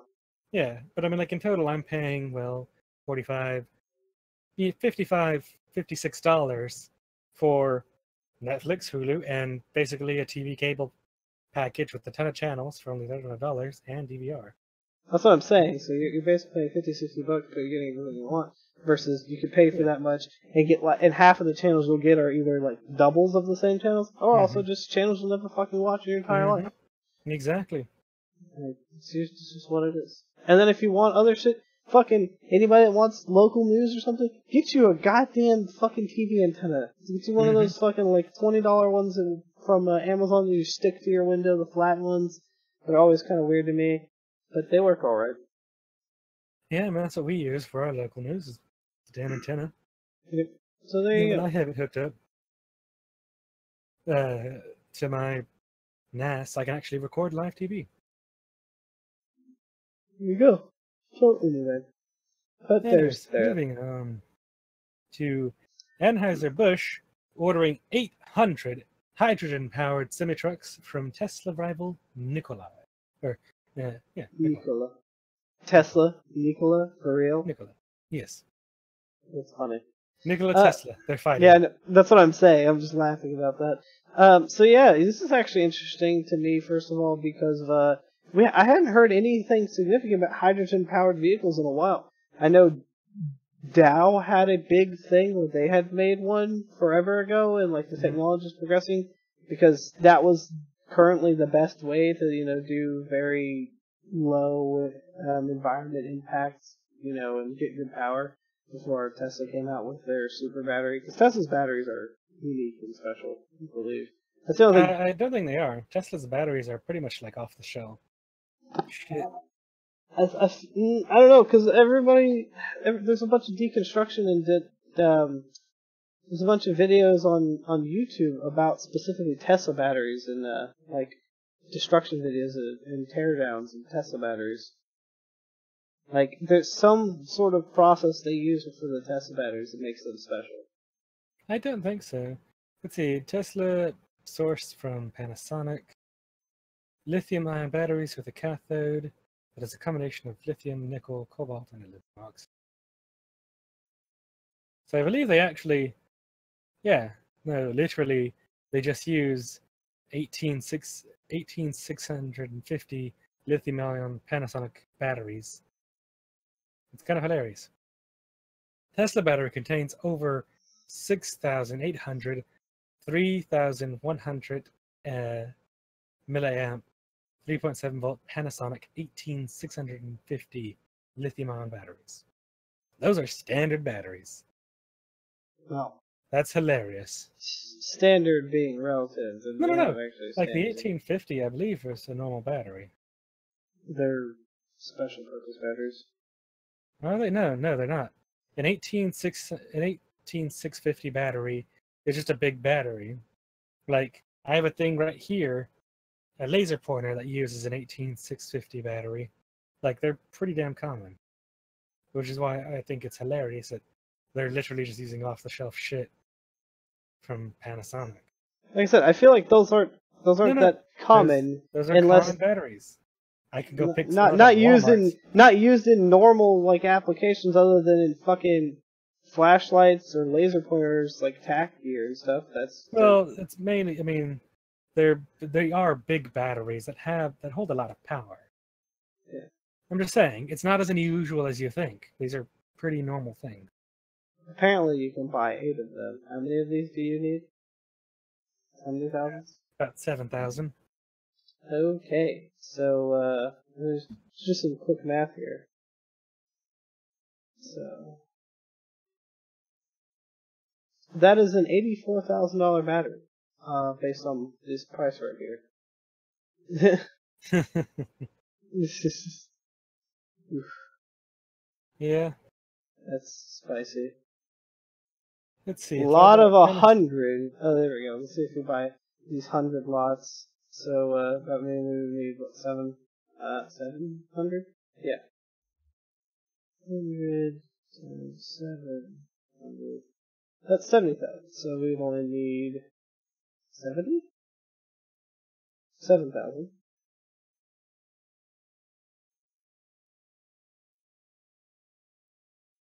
Yeah, so about fifty thousand dollars. It's about fifty-one thousand dollars if you just bought straight off the shelf. Um, batteries from Panasonic. How's However, I'm sure it's about probably. I'm sure all the batteries are probably about half that cost. I'm sure they buy Buy in bulk. super bulk wholesale special. No, I was looking at there's a uh like a lot lots of these batteries for a hundred dollar having a hundred pack for like six bucks on eBay. hmm Says they're all ultra fire, but that's that's. Probably Yes. So, yes. So, and here's a little backstory for Anheuser-Busch. Apparently, they have a long history finding creative ways to move beer. It was the first company, interestingly enough, to use refrigerated rail cars in the 1870s. Damn, they've been moving beer for a long time. Uh, much more recently, it transmitted 50,000 cases of beer 120 miles using a self-driving semi-truck. Uh, so today it announced an order for up to 800 semi-trucks powered by hydrogen gas as a part of a bid to make its entire fleet of long-haul trucks run on clean energy. By the way, so Tesla you can make the Tesla battery pack with these eBay lots if you buy seventy of them for three hundred and sixty seven point five dollars. Well, I know what I'm doing. I'm gonna buy seventy I'm gonna buy seven thousand batteries, Kenneth. Get ready. and build you a Tesla electric car. No, I'm probably just gonna build a giant railgun with them. I don't think they give you the voltage needing for that, but okay. That's a lot of batteries that can charge faster. I I suppose so. I I'll, I'll do the math. anyway. Anyways, so hydrogen truck, the hydrogen trucks are being built by uh, Nikola Motor Company, which, as it says here, the name Nikola just happens to be the first name of Nikola Tesla, the same Serbian-born inventor that Tesla car company is named after. That's funny. Yeah, that's what that's what the joke was there. Oh, is there something wrong? Kenneth froze. Are you still alive? Yeah, we're still alive. Oh, did Kenneth drop? Oh no. Rust and pepperonis. Man is dead. Somehow. Hmm. He's just sitting there.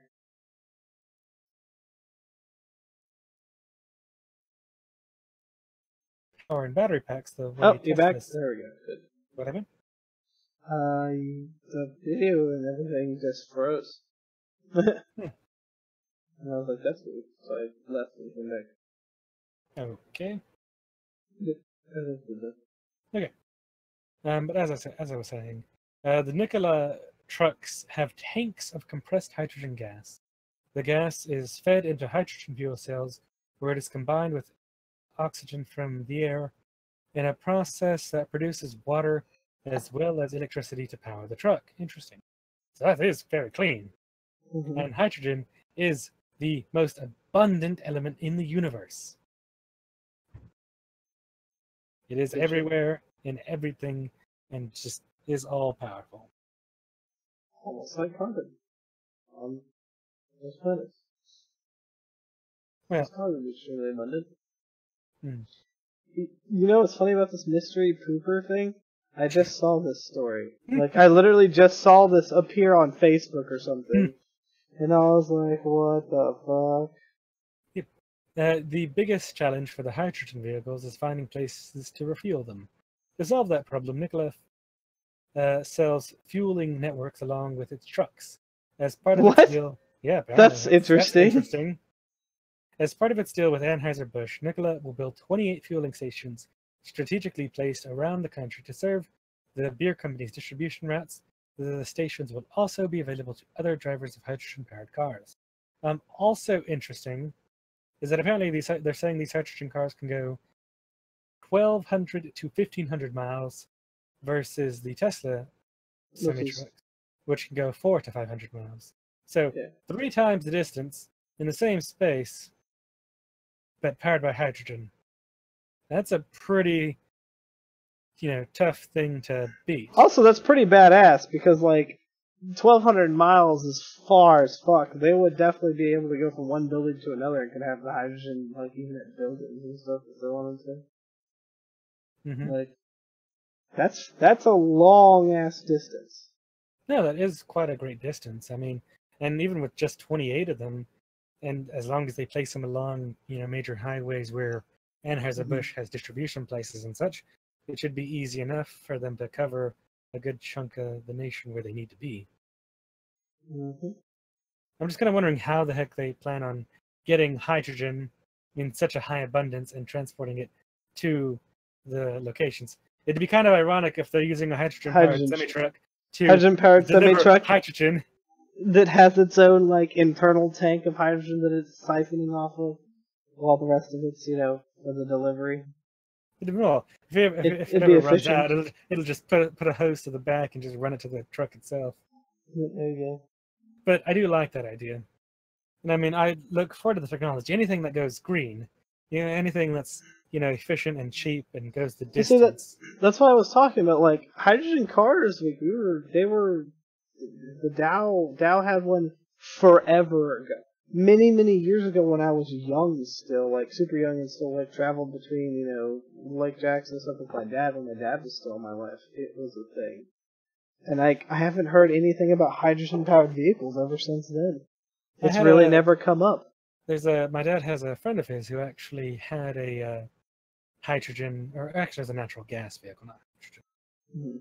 Those are actually well, I'm not gonna say they're common, but those are definitely more common than hydrogen. They're they're surprisingly like you can go to propane places and fill up your car. I've seen that in a lot of places. I'm like, that's kind of fucking weird. Because I've never seen you know propane vehicles except for all of uh, Lake Jackson's vehicles. They're all propane, and some city vehicles in some places are all natural gas Mhm. burning. It's just weird to me. It's also weird that you would you know have a natural gas burning car, but I mean, realistically, it's an engine. If it fucking goes boom, it can produce power, realistically. So they can be converted relatively easily. Yeah, and apparently, I mean, even current 18 wheelers on a full tank of diesel, depending on, of course, the size of the tank, can travel, let's say on average, about 17, 1800 miles. So this puts them at an extra, if, if Nikola can produce what they say they can, and it's as efficient as it is, or as efficient as they claim, this will change the trucking industry. Because who would buy you know a diesel engine if you could buy hydrogen for cheaper because it probably would be cheaper? Because it's again the most abundant material in the universe. Um you know more efficient or not well not as efficient but clean burning so you know reduces you know environmental Well, that's also a di- the different thing too. Is like, what's the tank size for hydrogen? So hydrogen in gas form, you know, it gets compressed Well- and turns into liquid. yeah But like, how much space does it actually need to take up?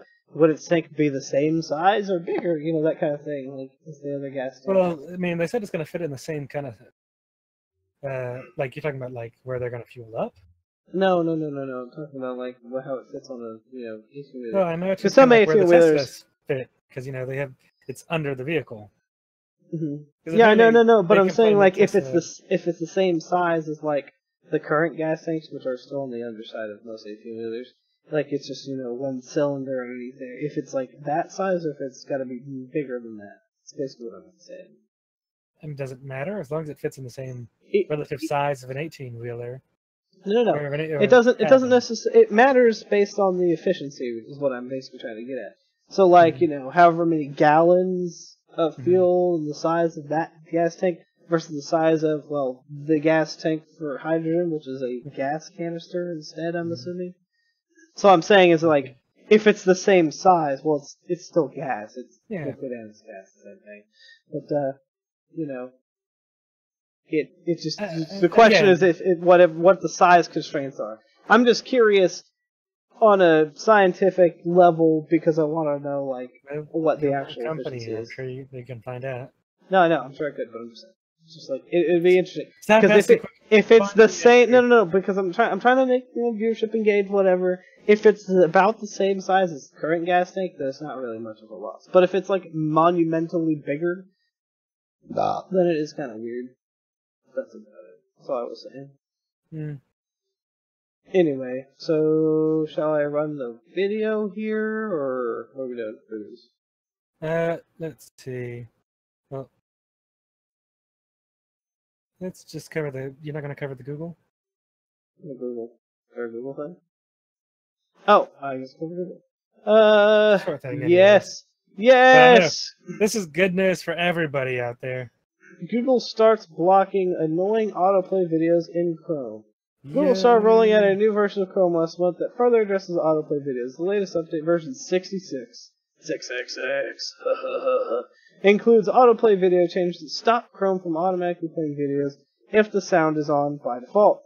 Google is gradually rolling these changes out in a personalized way so that Chrome lear, uh, learns user preferences of which sites should and should Which not I be think blocked. this is also pretty cool. That you know they learn what you do and how you use your the website, and then they well stop Yeah. it. This should prevent audio randomly blasting out of your speakers and visiting the site. But Google's changes mean if you've clicked and played videos on the site in the past, it'll remember the preference in the future.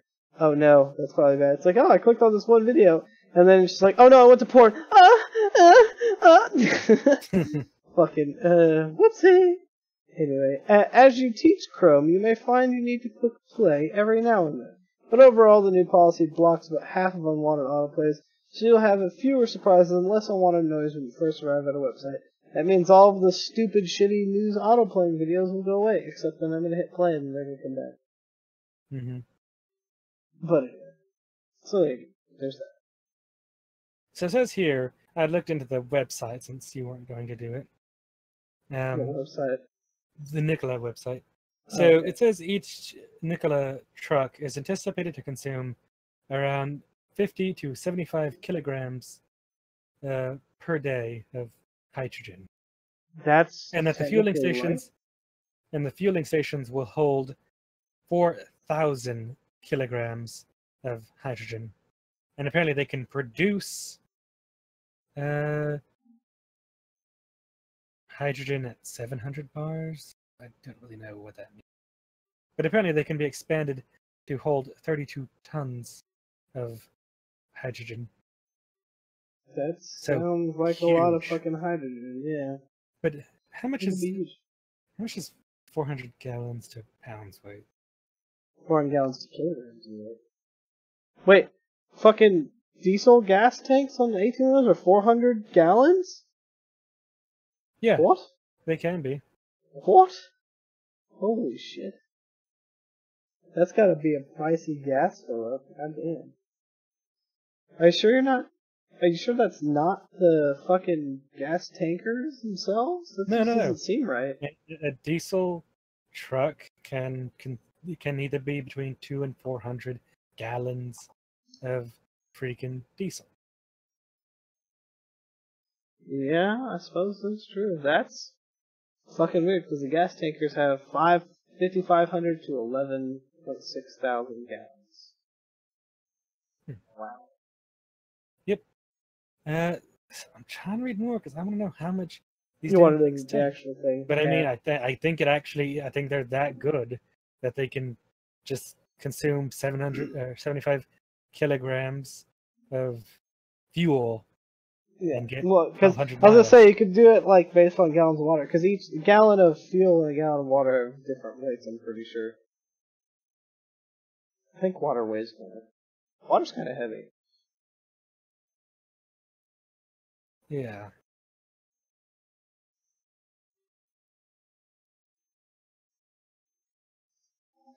Okay, so fuel value as of 2010 density of petroleum diesel is about 0.832 kilograms a liter, or 6.943 pounds US gallon, um, which has a density of about uh, 0.745 kilograms a liter to 6.217 pounds US gallons. So it's about 7 pounds a gallon. Um, and so how many gallons did you say it was? So we're, we're gonna math this. Actually, I have a converter here. Oh, you actually found a converter? Yep. So let me just add in here. My God. 400 gallons is the equivalent of nearly 3,000 pounds. Uh, yeah, it's 2.8 thousand is what I actually have. It's well, here's 2.9997. Oh, okay. So still, still So 3,000 pounds compared to 75 kilograms. I mean, that's what it says it consumes per day. It doesn't actually say how much is actually on the truck. I'm trying to find that out because I really want to know. Yeah, so uh, 3,000 pounds, by the way, uh, translates to 1,360.77 repeating kilograms. So it's actually technically much more efficient. And also, with it being cut down in weight, Mhm. it will actually make te- it'll actually make the truck semi safer as It's well. actually kind of interesting. So the Nikola will produce its own hydrogen on site. Oh, I was gonna say the Nikola, like in theory, the way hydrogen works, they can also produce hydrogen by uh, like electroplating inside Yes. of the vehicle. They That's exactly to. what they're doing. Well, well, they could, but they're using, they're just using hydrogen at the fueling station. Yeah, yeah. But no, that's what I'm saying. Is like they pr- they can produce hydrogen, basically probably near free. And like- Nikola's uh, vehicles will not be charged at the Nikola hydrogen station. Like not not. Wait, what?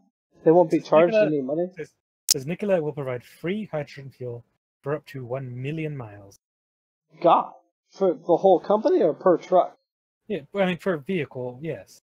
God damn. I know. Wow. Okay, so I'm sorry, Tesla, but you just got shit on. Provided that this company can actually produce what it says. They're That's also true. producing hydrogen, apparently two hydrogen-powered uh, jet skis and a hydrogen-powered dune buggy. Why don't they just produce a hydrogen-powered tr- car and take the market? You know? Because shit, if this is as good as they say, and as efficient as they say, then just fucking produce your damn, you know, Tesla and Nikola become Nikola Tesla, and just By the power of electricity and water combined. you know do that, and then get the get the Model S, replace the batteries with hydrogen cells, and then just replace the Tesla power stations with hydrogen power stations, and there you go. Actually, what you could do is you could do a hybrid, hydrogen and power. You can, I can, a hybrid for an all-electric vehicle. well, hy- in a hybrid electric uh, hydrogen car because you can produce. That's the thing is just with the like with the other hybrid cars. So the thing about other hybrids is you can produce power while you're moving, and that's what other companies did to increase the range of hybrid vehicles already. But the same thing applies to hydrogen. You can produce hydrogen on the fucking road if you want to. Easy. I mean, it is technically possible, but it probably takes a fair amount of electricity. However, uh, well, it takes electricity to separate to. Isn't that that, ironic? yes. So these are, you know, it takes electricity to power to power these sta- stations to get hydrogen for a clean future, but the electricity that they're using is probably either coming from solar, wind, coal, or not, or or nuclear. So it's it's kind of ironic. Yeah. Well, yeah, it's, it's the same thing. You know, whenever we get to better, even better solar pan- panel technology, even better windmills and whatever, because then we can go, you know, whatever renewable energy. And it costs nothing to reserve their 18 wheelers. Wow. Wow. Wow. So apparently, so the day cab has a range of 500 to 1,000 miles. So Hmm. I mean, good. It's better than Tesla's by about half. Uh, let's see. Tons of fancy specs, performance, uh, miles per gallon, less weight, less center of gravity, faster torque. Uh, yeah, so that's what I was saying. It's much lighter. Um, let's see. Apparently, this vehicle can get 13 to 15 miles per gallon versus diesel, which only gets about seven. And it's also about 2,000 pounds lighter.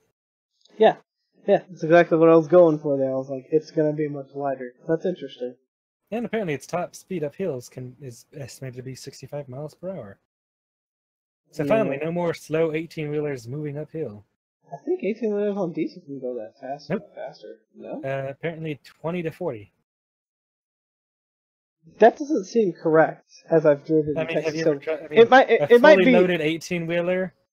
Well, I've been driven, you know, driving Texas roads for a while. They get pretty hilly, but that might be like high grade hills or something like that. There's a difference. Texas hills are they do have some steep grades, but it's not like when you go up north to fucking North Dakota where like you hit 12 grades and shit. hmm Those are just bad times for everybody. But anyway, that's interesting. Okay, so it looks like. Um, so apparently their trucks. Uh, apparently the story was incorrect when it said that it, they stated that they have 1200 to 1500 mile range. Apparently on their own website it says they have 500 to 1000. Mm, okay. That's still very impressive. Yeah. Still good. Still, like, we're easily within a distribution center and whatever. However, that means they're going to need more stations. Or, again, at the distribution centers, have a little hydrogen, you know, container, obviously. But the thing is, even though they have, they, you know, have less range, they use much, much, much less fuel. Mhm. Yeah, much less hydrogen. I mean, Like, it wouldn't even- it wouldn't even- is insane. it wouldn't even be out of the question for them to mount, you know, extra tanks for that, because that's that's not a lot of weight. Which also, I believe, also means that the containers for them themselves aren't that big. That was what I was going for. 400 gallons is a huge ass container Mhm. versus, you know, however many gallons. Of, 75 kilograms. well, which equates to I don't know how many gallons of actual like you know gas. Probably about 10, 15. Yeah, so like a gas canister that's ten gallons isn't that big. It's it's think about a propane tank. I I don't know how many pounds a propane tank is or how many gallons it is. Those are a couple gallons, I'm pretty sure. Yeah, Uh, and I mean, the density of them. I think they're I think they're like five gallons. Propane tanks are like five. Or one to five. I don't know where exactly. But yeah. So you could in theory put more of those on and you can you know, Mhm. do better if you want. Anyways, let's move on to final stories of the evening with Yeah. stupid and crazy. Oh, this is just a fucking hilarious story. Mystery pooper at New Jersey High School's track turned out to be the superintendent. Super Nintendo. Yep. So the Kenilworth Super Nintendo charged Monday with defecating in public was caught in the act at the Holmdel High School football field and track after surveillance was set up due to human feces being found on a daily basis. So that- he didn't just do this one time. No, he did it on a daily basis. What's wrong with this man? Uh, I'm gonna say what? Yeah. So Thomas uh, Tremegli, Tremegli, Tremegli, there we go. 42 lives about three miles from the high school in neighboring Aberdeen. He was running on the track at the on the athletic fields at 5:50 a.m. before he was arrested. Track coaches and staff at Holmdel High School told the district resource officer that they found human feces on or near the football field uh, and track daily. Uh, school employees began monitoring the area, and on Monday, police arrested uh, Tramaglini uh, at 5:50 a.m. He's also charged with lewdness and littering and is due in municipal court to answer for the charge. Apparently, he's taken a leave of absence from his 147,000 a year job in Kenilworth. Um, And apparently, he's also a part-time lecturer at Rutgers. So, what the hell is wrong with this man to risk a hundred and fifty-seven thousand, state pol- forty-seven thousand dollar a year job? to Was he making that much? Yeah. Wow. To just uh, go shit on a track and field. He might have had, you know, the same problems that we had. He, he that's what he thinks of his school district. It's shit. I don't know I wanna rip his off- same school district. I don't know. I want to rip off my email so bad. I just want to fucking take it and rip it off live. Take my pliers and. Hashtag feel the burn. Uh, anyway, so over the next story. Uh, in the uh, Indiana police, state police are asking anyone who found loose money on I-70 Wednesday uh, to return it. A chaotic scene unfolded around 9 a.m. on westbound I-70 near Holt Road when the ba- back security door on a Brinks truck came open. Bags of money were falling out of the back onto the interstate, State said ISP Corporal Brock McCoon. God Um, damn. Sort of something out of a movie scene where you have bills loose flying over the interstate vehicle, stopping people getting like, out of let me cars. grab a bag of money. Yeah, troopers at the scene initially said up to 600,000 had flown across the interstate, but police later said the exact amount was not known. Let me just- Let's see what the video here is. Police describe people stopping on thing it's only coming I-70, through walking side of my across the interstate, even So you can actually jumping over this fence to run out and grab cash. All- Something all police broken say side. is not only Huh? illegal, but very So you're not dangerous. showing it. Look at all this money. Oh, that's true. I'm not showing it. Look at all this money! Like something out of a game show, the Wednesday morning drive to work turned into a mad That is a dash lot for of cash money. on the west She's side just sitting there, not grabbing it. God, those are, those are how could it be hundreds all and shit. Over The that? chaotic scene on I-70 I'd like, I'll Wednesday get, morning. let me bust out a vacuum cleaner, just an unexpected deposit Yeah. right in the middle of the interstate. Bags of money were falling out of the back uh, onto the Oh, interstate. that- the- For of those are unknown hundreds. reasons, the back Mhm. security door of the truck And wasn't not gonna be secure. real- they're not gonna be when it flew traceable. open, hundreds of thousands of Oh. dollars went blowing in the wind, bringing westbound traffic to a halt. Dude, and dog, your fucking police say windshield's cracked. Creating a dangerous oh Fix it. situation. god, all We had that reports money. of people on the Let me just interstate, pull reports over people grab it all. on the side of the interstate, in the ditches, uh, in the grassy areas on the side of the interstate as well. State police say taking this loose money amounts to theft, so they told several people there Is it to only coming out of return your left- cash they had stuffed in their pockets. But they're Hmm. really hoping to catch up with apparently four it's coming out guys of in a your- white the left audio, truck. not just for you, but also for the stream. Wait, what? The, what? the audio from the video is only coming out of the left audio stream for. Uh, yeah, that's the video. The video's for like left side heavy for some reason. truck who reportedly hearing made off with a right whole side. bag of money. That's what I said. And that's left not heavy. at all. The other Well, vehicle that we had a left confirmed report of Yeah. um, was a like a school bus where the driver stopped, got out, collected some loose bills, got back in his vehicle, and continued. Of course he did. He's a fucking bus driver. He probably gets paid shit. State police can't confirm whether there were kids on the bus at the time. There's no telling Mhm. how much of the money will be recovered. Troopers were planning to keep an eye on the area through the day, and they say anyone caught grabbing cash this is could be arrested for theft. If you're willing to, in good conscience, turn it back in, there's amnesty. There's Anyways, no, folks, no that about real questions up asked. If you're willing to our give it back, the. The state police say they've no had several people call in because back. Let's see what they want to come in and Uh. turn in money that they found out here. If you'd like to do the same, you can call State Police's headquarters in Indianapolis. In Indianapolis, Zach Myers, Fox 59 News. Well, there you go. All right, everybody. As the uh, as the boy says right here. Fuck you, Thank you all for joining boy. us. Boy. As the boy here, as the boy without a real job says here, no, without all of this money. Uh, I'm just gonna give you the, the cable TV runaround. Uh, you should you should just switch providers, switch towns. Uh, anyway, but no. Okay. Thank you all for joining. yes, thank you all for joining us for Table Talk Thursday, episode 56. Please join us again next week as we continue to cover the news in the world and around you. Also, check us out on this channel here on Tuesdays at 7:30 p.m. CST for the Anime Talk Show with Harpy Brother here and a friend of ours, High Tech. And they usually either have a special guest or they are discussing the uh, seasonal shows and their episodes in review for that week. And Uh, next week is the guest time. show. And next week is the guest show, as he says. Do you have a guest? E- Tentatively, yes. Tentatively, yes, they have a guest. That all rhyme too. I love it. But there we go. So yes, thank you very much for joining us, and uh, have a great night.